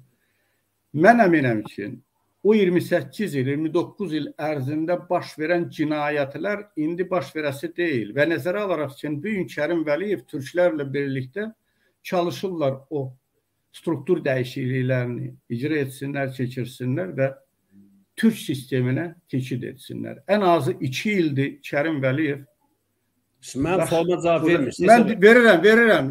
Narahat olmayın Qurban bəy. Mən bilirəm siz hara yönəldirsiniz, narahat mənim olmayın. sualıma cavab vermirsiniz siz. Bax burada Mən hörmətli verirəm. Kərim Vəliyev deyək ki, etiraz etdi, istefa verdi. Kərim Yo, yo, Vəliyev yo, yo, antiterror yo, əməliyyatı mən- zamanı mən-. Mən çox gözəl başa düşürəm. Qardaş, mənim Qurban sualım başa düşmədiniz. Mən gözəl Abid Qafarov yazır ki, Kərim Vəliyev 2014-2021-ci il arası Müdafiə Nazirinin şəxsi heyət üzrə müavini, Bəli. şəxsi heyət baş idarəsi rəisi olub. Yəni bizim övladlarımızın rəisi olub. Bizim uşaqları tərbiyə eləməlidir orada. Və bu adam görür ki, mənim uşağımı öldürürlər, zorlu yolu lom soxurlar. Ay İsa Sadov, ay başa dönüm. Ay mənim qardaşım. Deyirəm ki, indi mənim uşağımın, sənin uşağın rəisi kimi. Orada onun dədəsidir güya. Bu adam nə tədbir görməlidir? Deyirsiniz, o araşdırmaq hüququ yoxdur. Mən dedim, mənim hüquq, araşdırmaq hüququ var.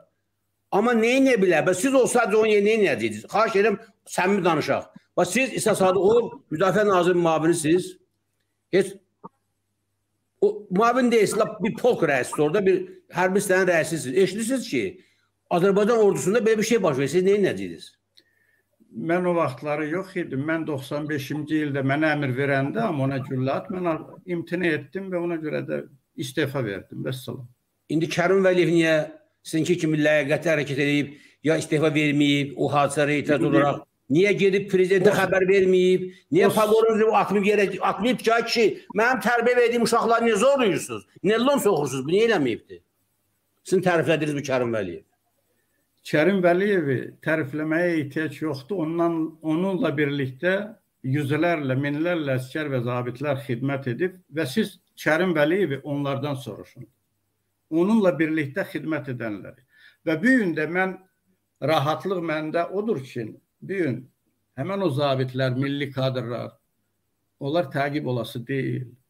Onlar ordudan kənarlaşdırılası deyil. Onlar rüşvət necə üçün Bunları hardan bilirsiniz belə? Səbəb bunları hardan bilirsiniz siz? Mən bilirəm, mən görürəm, mən bilirəm, xəbərdaram hansı gün. Yo, bunları hardan bilirsiniz? E, bu, bu adamın necə olacağını hardan bilirsiniz? Allah siz anlamadım mən. Bilirəm. Axı, iki- belə? Ən azı, ən azı 2 il ərzində kimlərlə çalışır, kimlərlə birlikdə bu gün o islahatları orduda aparır.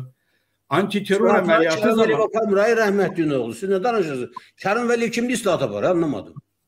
Kimdir Kərim Vəliyev islahat aparır? İslahatı dövlət aparır. İslahatı İlham Əliyev cənablar aparır. Hörmətli prezidentimiz aparır. Aparsın. Aparsın. Sənin dostuna vəzifə verən hörmətli prezident aparır. Sən nə danışırsan? Kərim Vəliyev kimi gözəl bir insanı vəzifəyə qoyan Kərim- hörmətli prezident aparır. Kərim Vəliyev mən demədim ki, mənim dostumdur. Kərim Vəliyev dedim ki, zabit general və bu gün baş qərargah rəisidir. Ən azı da 20 ildir mən deyirəm ki, Kərim Vəliyev bu gün olmalıdır. Sizin yanaşmanız çox düzgün deyil. İlham bəy, Polad məsələsində siz Əli Əliyevdən soruşun. Ordunun durumu, generalların durumu, bu uzun illər ərzində ordu niyə hazırlanmırdı ki, general rütbəsinə, vəzifəyə, korpus komandirin qərargah rəisinə, vəzifəsinə görə qalxaraq üzr istəyirəm gedib hansısa bir bölüyə komandanlıq etməlidir. Bu ordunun millilikdə durumudur. İmkan verin ki, indi o islahatlar aparılsın və bir də belə faciələr baş verməsin. Ağlı Amma fikirdir. o hər kəs deyə bilər fikirlərini bax belədir. Amma elə deyil axı. Döyüş nizamnamələri İşte bütün yerler illərlə, araşdırılmalı. min, min illərlə qanla yazılan döyüş nizamnamələri var. Bizim ordumuz ona görə bu gündədir ki, biz o nizamnamələri nə bilirik, nə onlardan onlara uyğun tələb edirik.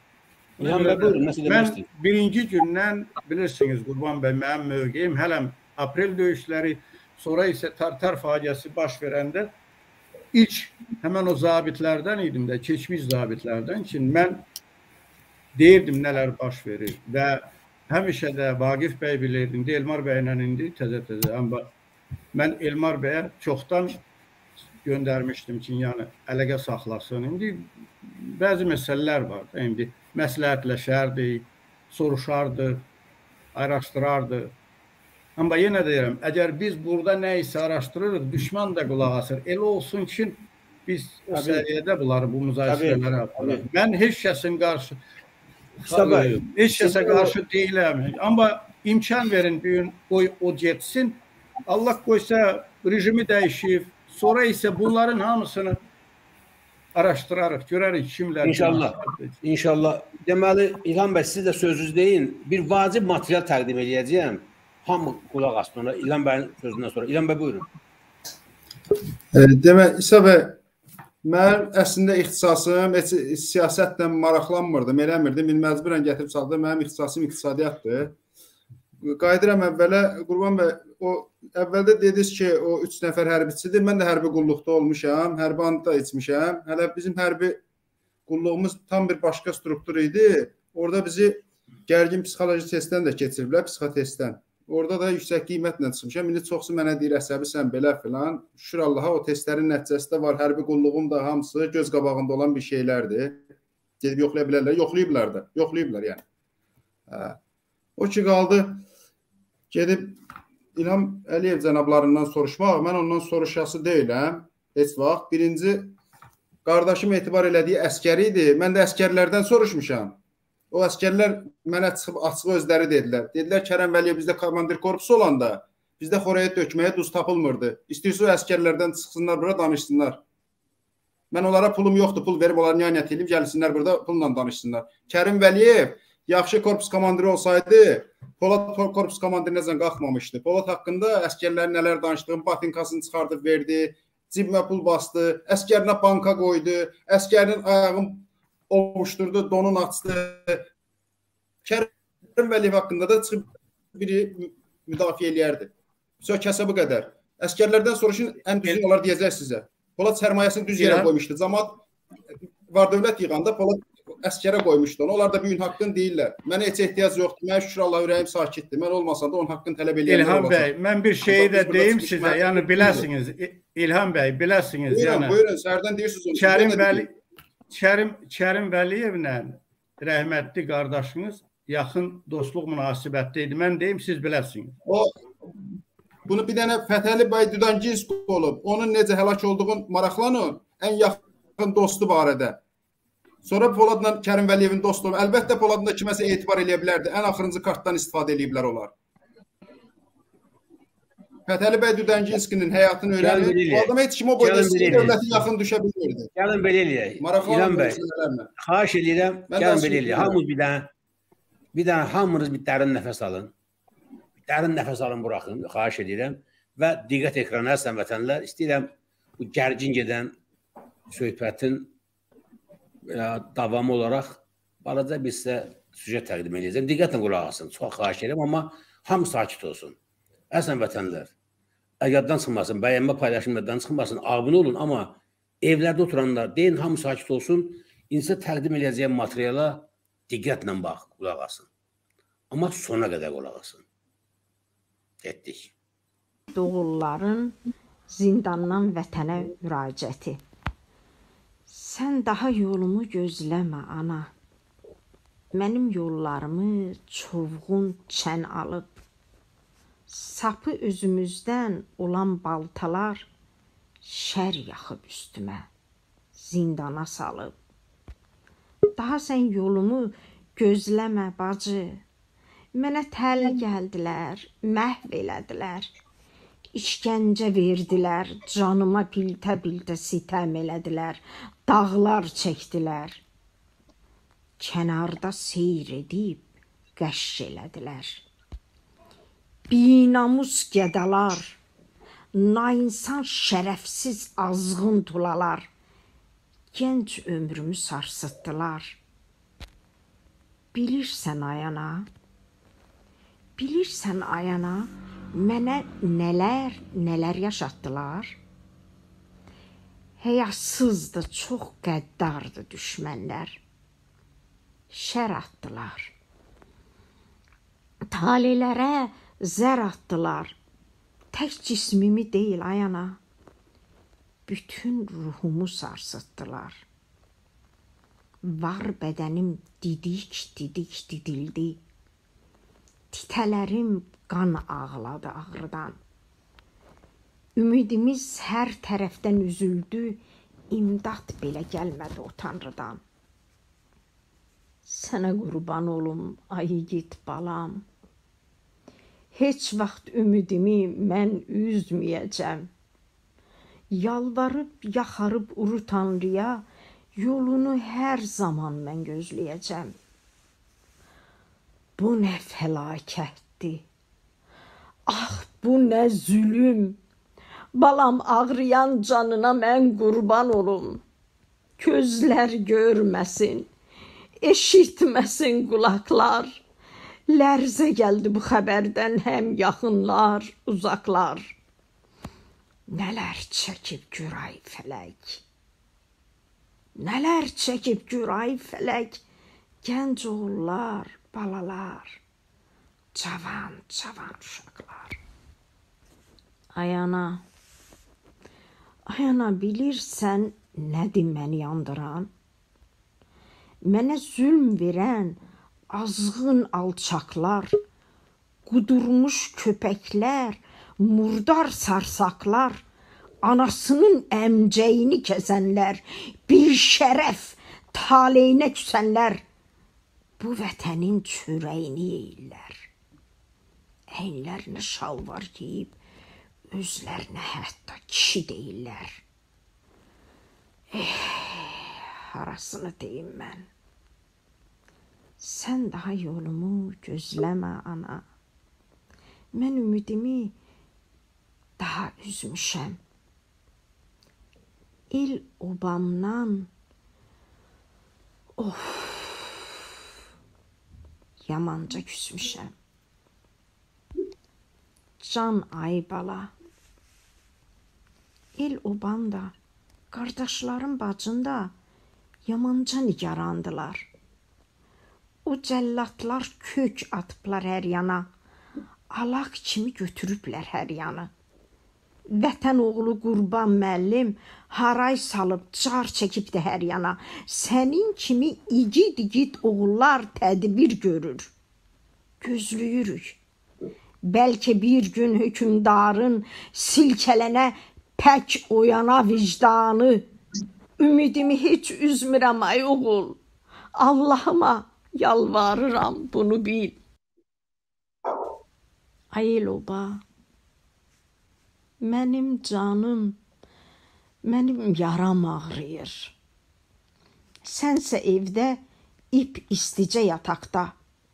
Bax, bax bunun üçün getmişdim mən vuruşa. Asayişdə rahat olsun həm böyük də, uşaq da. Fiziksel ağrılara döz dedikcə dözərəm. Yaralara məlhəm tapıb sürtərəm. Qiymət verib qədir bilən olsa əgər, inanın ki, mən cəfadan heç bezmərəm. Bəs ruhumun acısını, əxlaqsızlıq damğasını mən mən nə ilə ovundurum? Verin buna siz bir yorum. Vətən qızı, vətən oğlu Ayeloba. Getdiyiniz doğru yolla, haqq yoluyla apar məni. Lütfən, lütfən, lütfən. Amma zindanlardan qurtar məni. Zülm çəkirəm. Bu zindanda məhbusam. Ayel qızı, ayel oğlu. Burada yaram çıtır-çıtır sızlayır. Ey analar, ey atalar, bizi buradan qurtarın. Axı bizlər sənin üçün getmişdi ki, vuruşa, sən evində sülh içində olasan. Xidmət edirdim sənə. Xidmət edirdim vətənə. İndi isə sıra səndə. Ay el qızı, ay el oğlu, bizi burdan, bu zindandan qurtarın. Rədd eləyin murdarlar vətəndən. Eşidirsiz? Eşidirsiz ay el qızı, ay el oğlu, dur ayağa cəllatları, o binamus axmaqlar rədd eləyin vətəndən. Neçə-neçə igid oğul nicat gözləyir səndən. Ay el qızı, ay el oğlu, bizi burdan, bu zindandan qurtarın. Bizi bu zindandan qurtarın. Dostlar, biz burada çox belə müzakirə apara bilərik, amma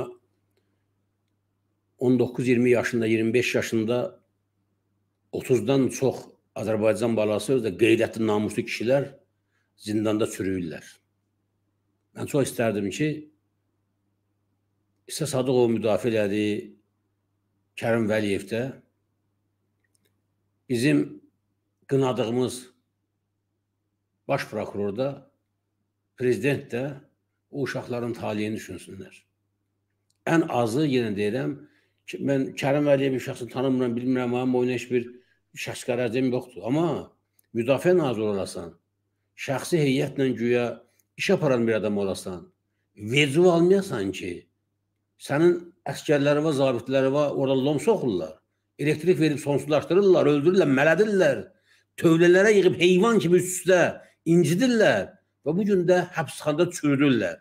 Sən də oturasan, general paqonu daşıyasan, yaxşı əmək alasan, güya adı da qoyasan ki, mən islahat aparıram. Məsələ bundadır.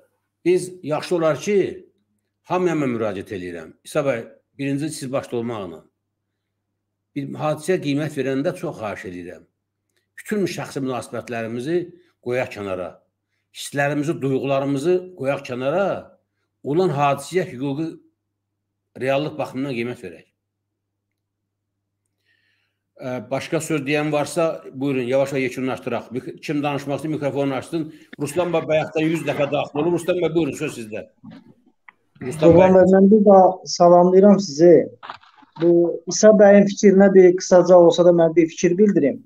Yəni bu Tovuz hadisələri mənim üçün də ağırdır. Başlıcası cənab general Polad Həşimov bitirmək bizim üçün çox ağırdır. Bu günləri çox şükür ki, Polad Həşimovun qoxusunu biz İlham bəydən alırıq, qardaşından. Allah canını sağ eləsin. Mənim üçün də ona görə ağırdır ki, yəni o döyüşlərdə də mənim yaxın qohumum şəhid olub. Mahmudov Rəşad baş leytenant. İndi orada İsa bəy deyir ki, yəni ora dörd kəndə nə qədər neçə minlərlə, yüzlərlə raketlər atılıb, mərmilər atılıb. Əgər ora o qədər raketlər atılsaydı, mən özüm minamyotçu olmuşam. Əgər ora o qədər raketlər atılsaydı, 12 şəhid yox, daha çox şəhidlər olardı. Ora o qədər raketlər atılmayıb. Ora Polad Həşimovun vurulmağı sadəcə hədəf olub. Yəni İsa bəy orada mən onun çox sözlərini eşidə bilmədim.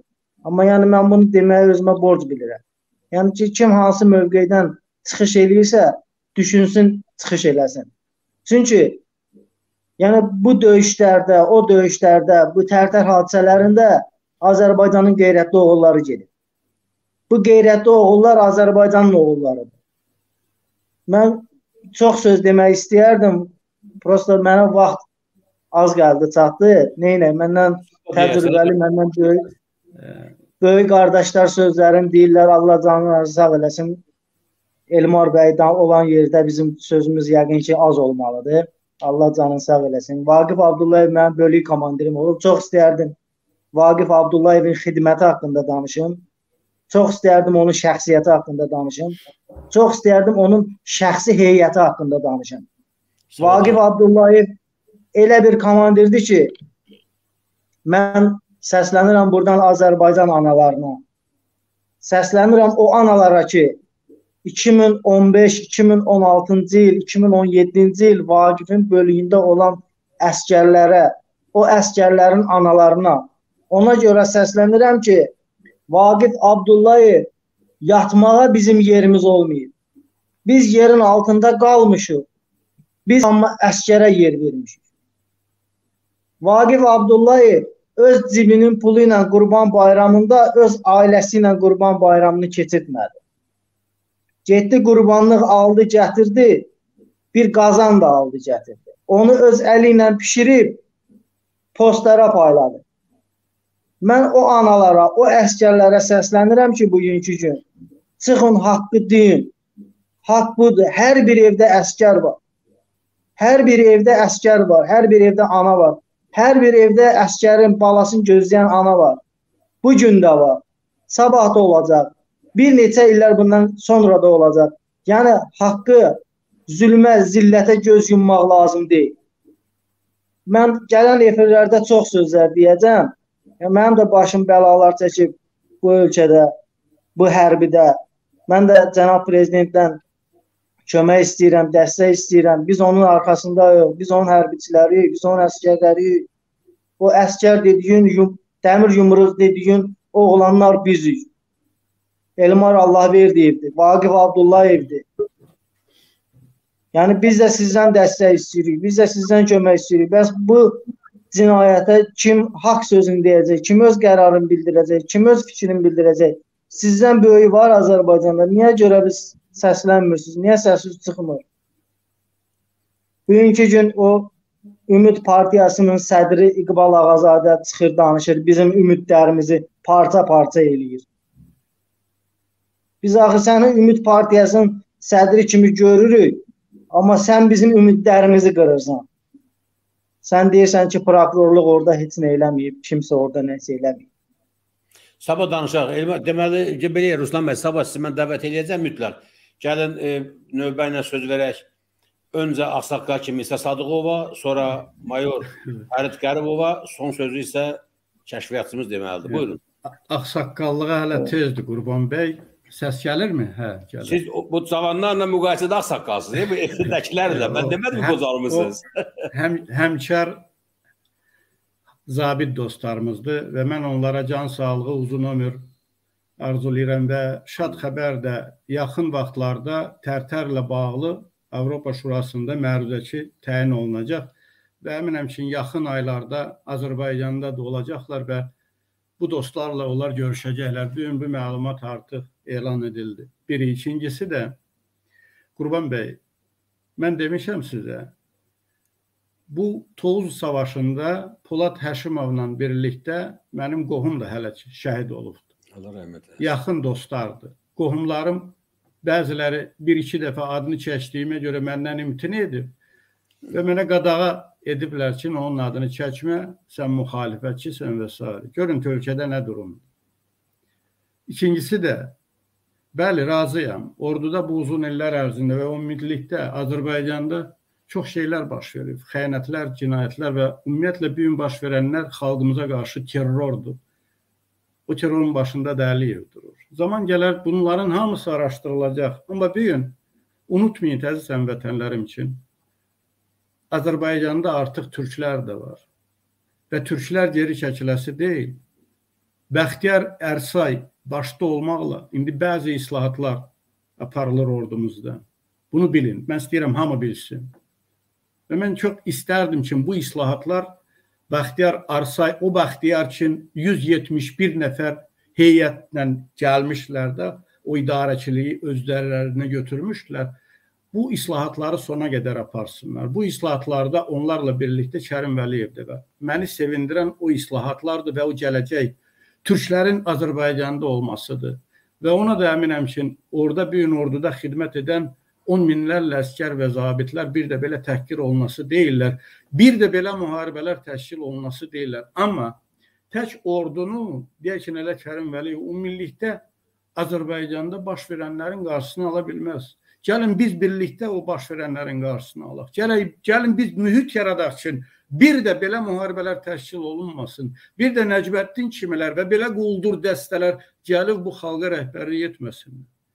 Mən ilk gündən sizinlə Elmar bəy, e, bax bu dostlarla üçün həmən o Tərtər faciəsi ilə bağlı e, görünürlər ekranlarda elə görünməyənlərdən sizlərlə olmuşam və bundan sonra da olacağam. Təşəkkürlər. Çox sağ olun Qurban bəy. Sizə də şəxsən minnətdarımı bildirirəm ki, burada sizin də böyük xidmətiniz Siz etdiklərinizi bugünkü günə qədər heç kəs etməyib və etməsəydiniz bundan sonra da çox inanmıram ki, kimsə bunları edəcəkdi. Ona görə ki, hər şey unudulubdur. Necə uzun illər ərzində baş verən cinayətlər bu gün artıq bütün dünya bu baş verənlərdən xəbərdardır və əminəm ki, bunun nəticəsi də olacaq. Uğurlar Elmar bəy. Mən deyirəm sizə qarşı qətiyyən yox, amma biraz-biraz ehtiyatlı olmalıyıq və nəzərə nəzərə almalıyıq bu gün nələr baş verir orduda görürsüz. İran bir tərəfdən, Rusiya bir tərəfdən, ermənilər oradan yenidən hazırlıqlar görür. Bizimlə məsələlər bitmir. Tərtərlə. Bəli, tərtəri araşdırmalıyıq. Amma məsuliyyət daşıyan bir nəfərdir. Əliyevdir. Təşəkkürlər. Çox sağ olun Qurban bəy. Çox sağ minnətdaram ki, vaxtınızı ayırdınız. İcazə versəniz, hə, icazə versəniz. Sağ olun, yaxşı oldu, çox sağ olun. Dostlar, gəlin elə eləyək. Nəzərə alın ki, vaxtımız çox qısıtlıdır. Fərid bəy, tez yekunlaşdıra buyurun. Sağ olun Qurban müəllim.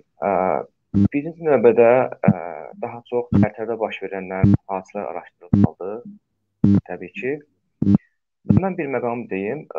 Vaxt var idi, Nəzməli Sadıqov bütün görüşlərində yanında əməliyyat baş idarəsi rəisi Aya Səsonova gəzdirərdi görüşlərdə. Özündən sonra onu görərdi. Və şükür ki, baş qərargah rəisi Aya Səsonov olmadı. Ümumiyyətlə oradan uzaqlaşdırıldı və Kərim Vəliyev təyin olundu. Mən sizə deyim ki, mən açıq bir informasiyanı deyim. Artıq 22-si sentyabr tarixində bu məlumat yayımlanıb rəsmi şəkildə. Deməli, orada artıq əsgərlərin yer dəyişməsi elektron elektron şəkildə mən sizə eşitmirəm. Yekunlaşdıraraq dedim, siz yeni mövzu açmayın. Yekunlaşdırırıq. Çünki səs gəlir, səs gəlir. Elektron şəkildə əsgərlərin bölgüsü həyata keçirilib. Artıq istihatlar davam eləyir. Türklərin burada əli var. Mən deyərdim ki, biraz ə, bu mövzuları kənara qoyaq, daha çox tərtərə müzakirə eləyək. Vaxt verək deyərdim mən düşünürdüm. Bu mənim şəxsi fikrimdir. Şəxsən nazirlik heyətində işlədiyim üçün, onları tanıdığım üçün deyirəm. Yəni əslində tərəf tutmuram, bu da mənim şəxsi mövqeyim. Çox sağ olun. İlham bəy, deyəcəyiniz yoxdur bir şey bu gün? Bəzi şeylər var, demək lazımdır. İndi gələn verilişlərə də saxlayaq istəyirsiniz vaxt məsələsi ilə əlaqədar. Yəni biz onsuz da indi indi bundan sonra baş verənləri müzakirə eləmirik. Sağ olsunlar, iş görənlər görürlər. Biz indiyənəcən baş vermiş faciələrdən danışırıq ki, gələcəkdə baş verməsin. O 30 nəfər içəridə çürüyən gənclərin həyatından danışırıq. Mən özümü borclu sayıram. Bu insanlara işgəncə veriblər Polad əleyhinə izahat almağa, nə bilim söz götürmək üçün, nə isə Poladın əleyhinə bir ifadə almaq üçün. İşgəncə görənlər var, həlak olanlar var. Biz də insanıqsa, biz də reaksiyamızı bildirməliyik. Elə bilər sizə təsir eləmir o qədər, mənə təsir eləyir. Mən dərk eləyirəm insanlıq nədir. Biz belə bir ailədə böyümüşük. İndi bir yaxşı olacaq. İnşallah yaxşı, əlbəttə yaxşı olacaq. Bu düzən belə getməyəcək. Bu ya dağılmalıdır, ya düzəlməlidir. İnşallah ki, düzələcək. Bizdə bildiyimiz bir şeylər var. Dövlət başçısı da öz mövqeyini qoyacaq ortalığa, tələsməyin. Olacaq. O qalanları da hamısı öz yerində. O xainləri biz elə oyalaya oyalaya buraxaq başlı başına. Bir dərs olmalıdır, gələcəkdə gələn də görməlidir ki, andına sadiq qalmayanlar nə günə qalır. Polad andına sadiq qalmışdı, qanından, canından keçdi vətəni uğrunda. Və o birisilər, o birisilər də bağışlayaq keçsinlər, eləmi? Gələcəkdə and içənlər də deyəcək ki, keçsəm də olacaq, keçməsəm də olacaq. And elə belə bir şey deyil. Dövlət məmuru oradan maaş alan, ailəsini dolandıran bir insan məsuliyyətini dərk eləməlidir. Eləyə bilmirsə getsin kişi kimi bu başdan istefasını versin, çıxsın getsin, mənim haqqımı yeməsin. Polad kimi oğlanların, Elmar kimi oğlanların, Elnur kimi oğlanların haqqını yeməsin. Niyə görə işgəncə çəkir? Mən Elmarın sifətini görmüşəm, parça-parça da o insanın sifəti özü üçün elə belə təsəvvür eləyə bilirsiniz. Hər kəsin yerinə insan özünü qoymalıdır birinci. Ondan sonra danışa bilər o kimlərsə müdafiə eləyə bilər. İnsanın bu boyda cinayətdən xəbəri olmayıb. Nə gözəl. Mən də işləyərəm eləsi Müdafiə Naziri müavini. İşləyə bilərəm də yəqin ki, eləmi? Təbii ki, bizim qonşumuz Məmməd Hüseyn işləyə bilər. yəni belə ki, kinayədən gülürük Allah haqqı. Bu gülməli bir şeylər deyil. İnsanın vicdanı var. Mən elə belədən demədim. Birinci öz kəndimizdən başlayacağam. Sonra qonşu kəndə keçəcəm. Vəndam kəndindən niyə bir xəbər ətər yoxdur? Nəcməddinin villası var, yoxdur. Mən araşdırmamışam. O kənddə o qədər hərbiçi var. Niyə xəbərləri yox? Niyə səsləri çıxmır? Hələ səslər çıxmır. O kənddən sizdə, sizdə. Mən o kəndə qonaq kimi gedib gəlmişəm. Düzdür, ata-baba yurdumdur. Ancaq siz o birbaşa kənddə yaşayırsınız. Niyə həqiqəti deyə bilmirsiniz? And içmisiniz də. Olar məsələn mən qaldırmışam. Əslində villanı ictimailəşdirən adam olur. Qaldırmaq başqa bir şeydir. Sonuna getmə. Mən də gözləyirəm, nəticəni də sizdən gözləyirəm onda. Siz dilləndirin, yaxşı. Mən ipucu vermişdim. Nəticəni də sizdən gözləyirəm, heç bir şey.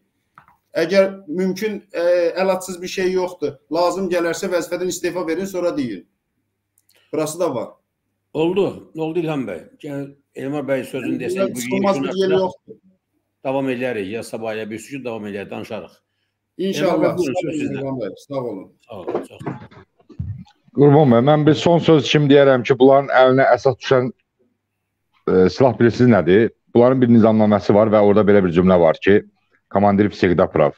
Yəni komandirin əmri e, həmişə düzgündür, komandir və komandirin əmri müzakirə olunmur, əmri icra edilir və sonra müzakirə edilir. Anlamıram, mən aparıb oyun qurbanı eləyəndən sonra mənim işimi kim müzakirə edəcək? Hələ də o mənə maraqlıdır. Bu neçə illərdir çatmayıb mənə bu fikir. Və əlaqüstə demək istəyirəm ki, bayaq necə ki, e, dediniz Kərim e, General Leytenant Kərim Vəliyevin sırf bizim işlərə qarşı münasibəti mən bir ordunun baş leytenantı kimi bu reallığı görüb ölkə başçısına yalan danışmadım. Yəni mən bunu öz qeyrətimə, namusuma sığışdırmadım. Mən bilirdim ki, bundan sonra mənim 17 illik həyatımda, əziyyətimdə, bütün gördüyüm təlimlərdə dağılacaq. Amma mən buna imza atmadım. Mən bir zabit kimi ölkə başçısına yalan danışmadım. Əgər bu gün kimsə kimsə çıxıb açıq şəkildə müdafiə edirsə, inanın Allah o da çox gedə bilməz. Haqqı deyən, həqiqəti deyən qarşısında dağ belə dura bilməz. Mən sonuc olaraq bunu deyirəm. Polad qardaşımızın tək İlham qardaşı yox, yenə də deyirəm, məni kimi minlərlə zabit qardaşı var. Zaman gələcək Azərbaycan xalqı da, Azərbaycan anaları da, bütün hər kəs həqiqəti biləcək. O cümlədən də ölkə başçımız bundan xəbərdar olacaq inşallah. Gecəniz xeyrə. İnşallah. Çox sağ olun. Cəsarət rəmzidir. Cəsarət rəmzi mərdlik simvoludur. Elmar Vaqif kimi əsilzadələr. Əyilməyən dəyanət simvoludur. Ruslan, Namik kimi əsilzadələr. Ordumuza bata bilməz ordular. Vətən sevənlərə tələ qurdular. Əxlaqsız qadın tək üzə durdular. Haramdan törəmiş haramzadələr. Satqınlığı, xəyanəti görmürlər. Binamuslar utanmırlar, ölmürlər. Tərtərə nə verib ala bilmirlər. Xanlar, Hikmət, İqbal ağazadələr. Xalqımız inanmır bu nağıllara. Bu satqın rus başlı bu çuğullara. Xalq düşməni deyir mərd oğullara. Tofiq, Babək kimi tulazadələr. Gileyli, gileylənməyin hədərdir. Nəsibin qüssədir, qəmdir, kədərdir. Aya, bunlar ermənidən betərdir. Bizdən biz doğulmuş şeytanzadələr. Dostlar, birinci növbədə ordumuzu bu şeytanzadələrdən xilas eləməliyik. Ordu istənilən millətin, istənilən dövlətin ən müqəddəs yeridir. Xatırlayırsınız, bu hadisələri biz başlamamışdan ya qabaq idi, ya biz başlandan bir dərhal sonra idi.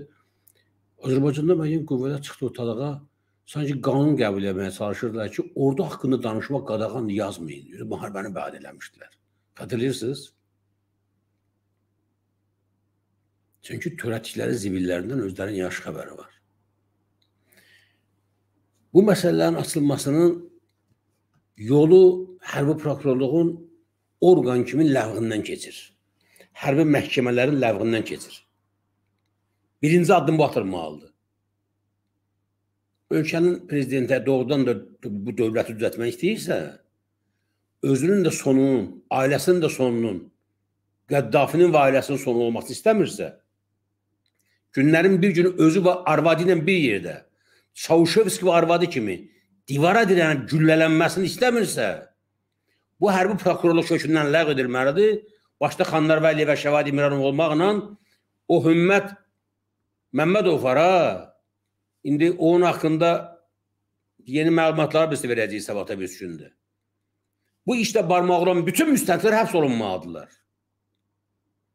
Bu işlərlə bağlı hökm çıxaran bütün hakimlər, bütün istisnas olaraq hamısı həbs olunmalıdır. Bunun bir başqa yolu yoxdur. Yoxsa bu ölkə düzəlməz. Ya İlham Əliyev düzəldəcək bu ölkəni, bu ordunu, ya da xalq biz birləşib İlham Əliyev qatışıq bunları düzəltməliyik. Başqa yolu yoxdur. Mən şəxsən bir vətəndaş olaraq, Qurban Məmmədli olaraq dövlətimi və xalqımı bu zalim alçaq binamus adamların əlində qoymaq fikrim yoxdur. Əlimdən gələni son nəfəsimə də eləyəcəm əzəmətənlər. Və mən sonda bir daha Azəfidin Mayrəsi olaraq sizə hər birinizə minnətdaram, təşəkkürümü bildirirəm ki, bu döyüşdə, bu müharibədə, bu əsr müharibə gedir dostlar. Çoxuzuq bir şeylər, bəzi şeylərdən xəbəriniz yoxdur. Əsr müharibə gedir və bu müharibədə bizi tək qoymadığınıza görə hər birinizə bir daha minnətdarlığımı, təşəkkürümü bildirirəm. Çox sağ olun, var olun. Yaxşı ki varsınız. Bir şey unutmayın. Biz əlinə verməsək, verməsək, biz birləşməsək, inanın mənə, biz güc qoymasaq ortalığa heç nə dəyişəsi deyil. Şəxsən mən bu öz rolumu qətiyyən şişitmək Allah uzaq eləsin fikrinə deyiləm. Bu işi çox hörmətli Ərəstun Oruçlu başlayıb. Buradan da salamlayıram. Bağırma basam, görün bu günləri vaxt olmadı, imkan olmadı, qoşula bilmədi. Ondan sonra Allah şəfa versin, Oqtay Gülaliyə davam elətdiribdi. Amma bir insan var bu Azərbaycanda. Bütün bu proseslər ona görə çıxıbdı bu səviyyə. O validə anamızdır. Millətin anası validə ana. Budur, an, əsl ana obrazı budur. Validə ana. Onun hayı harayı, onun qətiyyətli, cəsarətli, ardıcıl mübarizəsi gətirib bu prosesləri bu səviyyə çatdırıbdır. Amma bir şey biləsiniz. 100 dənə validə ana olaydı. 1000 dənə ərəb oruçlu olaydı. Bu işləri qanuni qaydada, lazım olan formada aparmasan bu nəticəni ala bilməzsən. Aydındırmı? Ona görə də Gürcülər biz birləşdirdik. Ərəbstun oruçlunun məlumatları, operativ reaksiyaları, yazma qabiliyyəti, araşdırma qabiliyyəti, Oxta Gülalevin topladığı materiallar, sərəsəmişlərin faallığı, validə ananın rəhbərliyi altında bu yetim Azər Freedomda bu məsələləri düzdü qoşdu, gətir saldı lazım məzriyə. Bu gün artıq Avropa Şurasında bu məsələ gündəlikdədir. Biraz da BMT-də bu şey müzakirə olunacaqdır. İlləməli bunlara cavab verməli olacaqdır. Və günlərin bir günü Beynəlxalq Haqadakı Cinayət Məhkəməsində bir də baxdınız ki, İlham Əliyevi yargılayırlar. Axtarırlar. Harda gizlənib görək İlham Əliyev? İlham Əliyev bu taliyə yaşamaq istəmirsə, təcil tədbir görməlidir. Mən demirəm 3 gün, 5 gün, nə bilim, biz deyən bayaq dedim mən, bir dövlətə vaxt qoymaq, şərt qoymaq iddiasında deyilik. Yəni belə axmaq fikirlər bizdən uzaqdır. Amma bu dövlət bizim dövlətimizdir. Azərbaycan bizim tək olan gəmimizdir və sonda əsən vətənlər sevgili peyğəmbərimiz sallallahu aleyhi və səlləmin gözəl bir hədisini xatırlatmaqla bugünkü verilişimizi tamamlamaq istəyirəm. Gəminin dibini deşənləri seyr eləyənlər özləri də qərq olacaqlar. Qərq olanlardan istəmirsinizsə vətənlər, gəlin ələ verək bu Azərbaycan adlı gəmimizi deşənlərin əlini yox, qolunu biləyini də yox, belini sındıraq. Ki, bizim də gələcək nəsillərimizə qarşı tərtərdə baş verənlər təkrar olunmasın. Gecəniz xeyrə qalsın, sağ olun.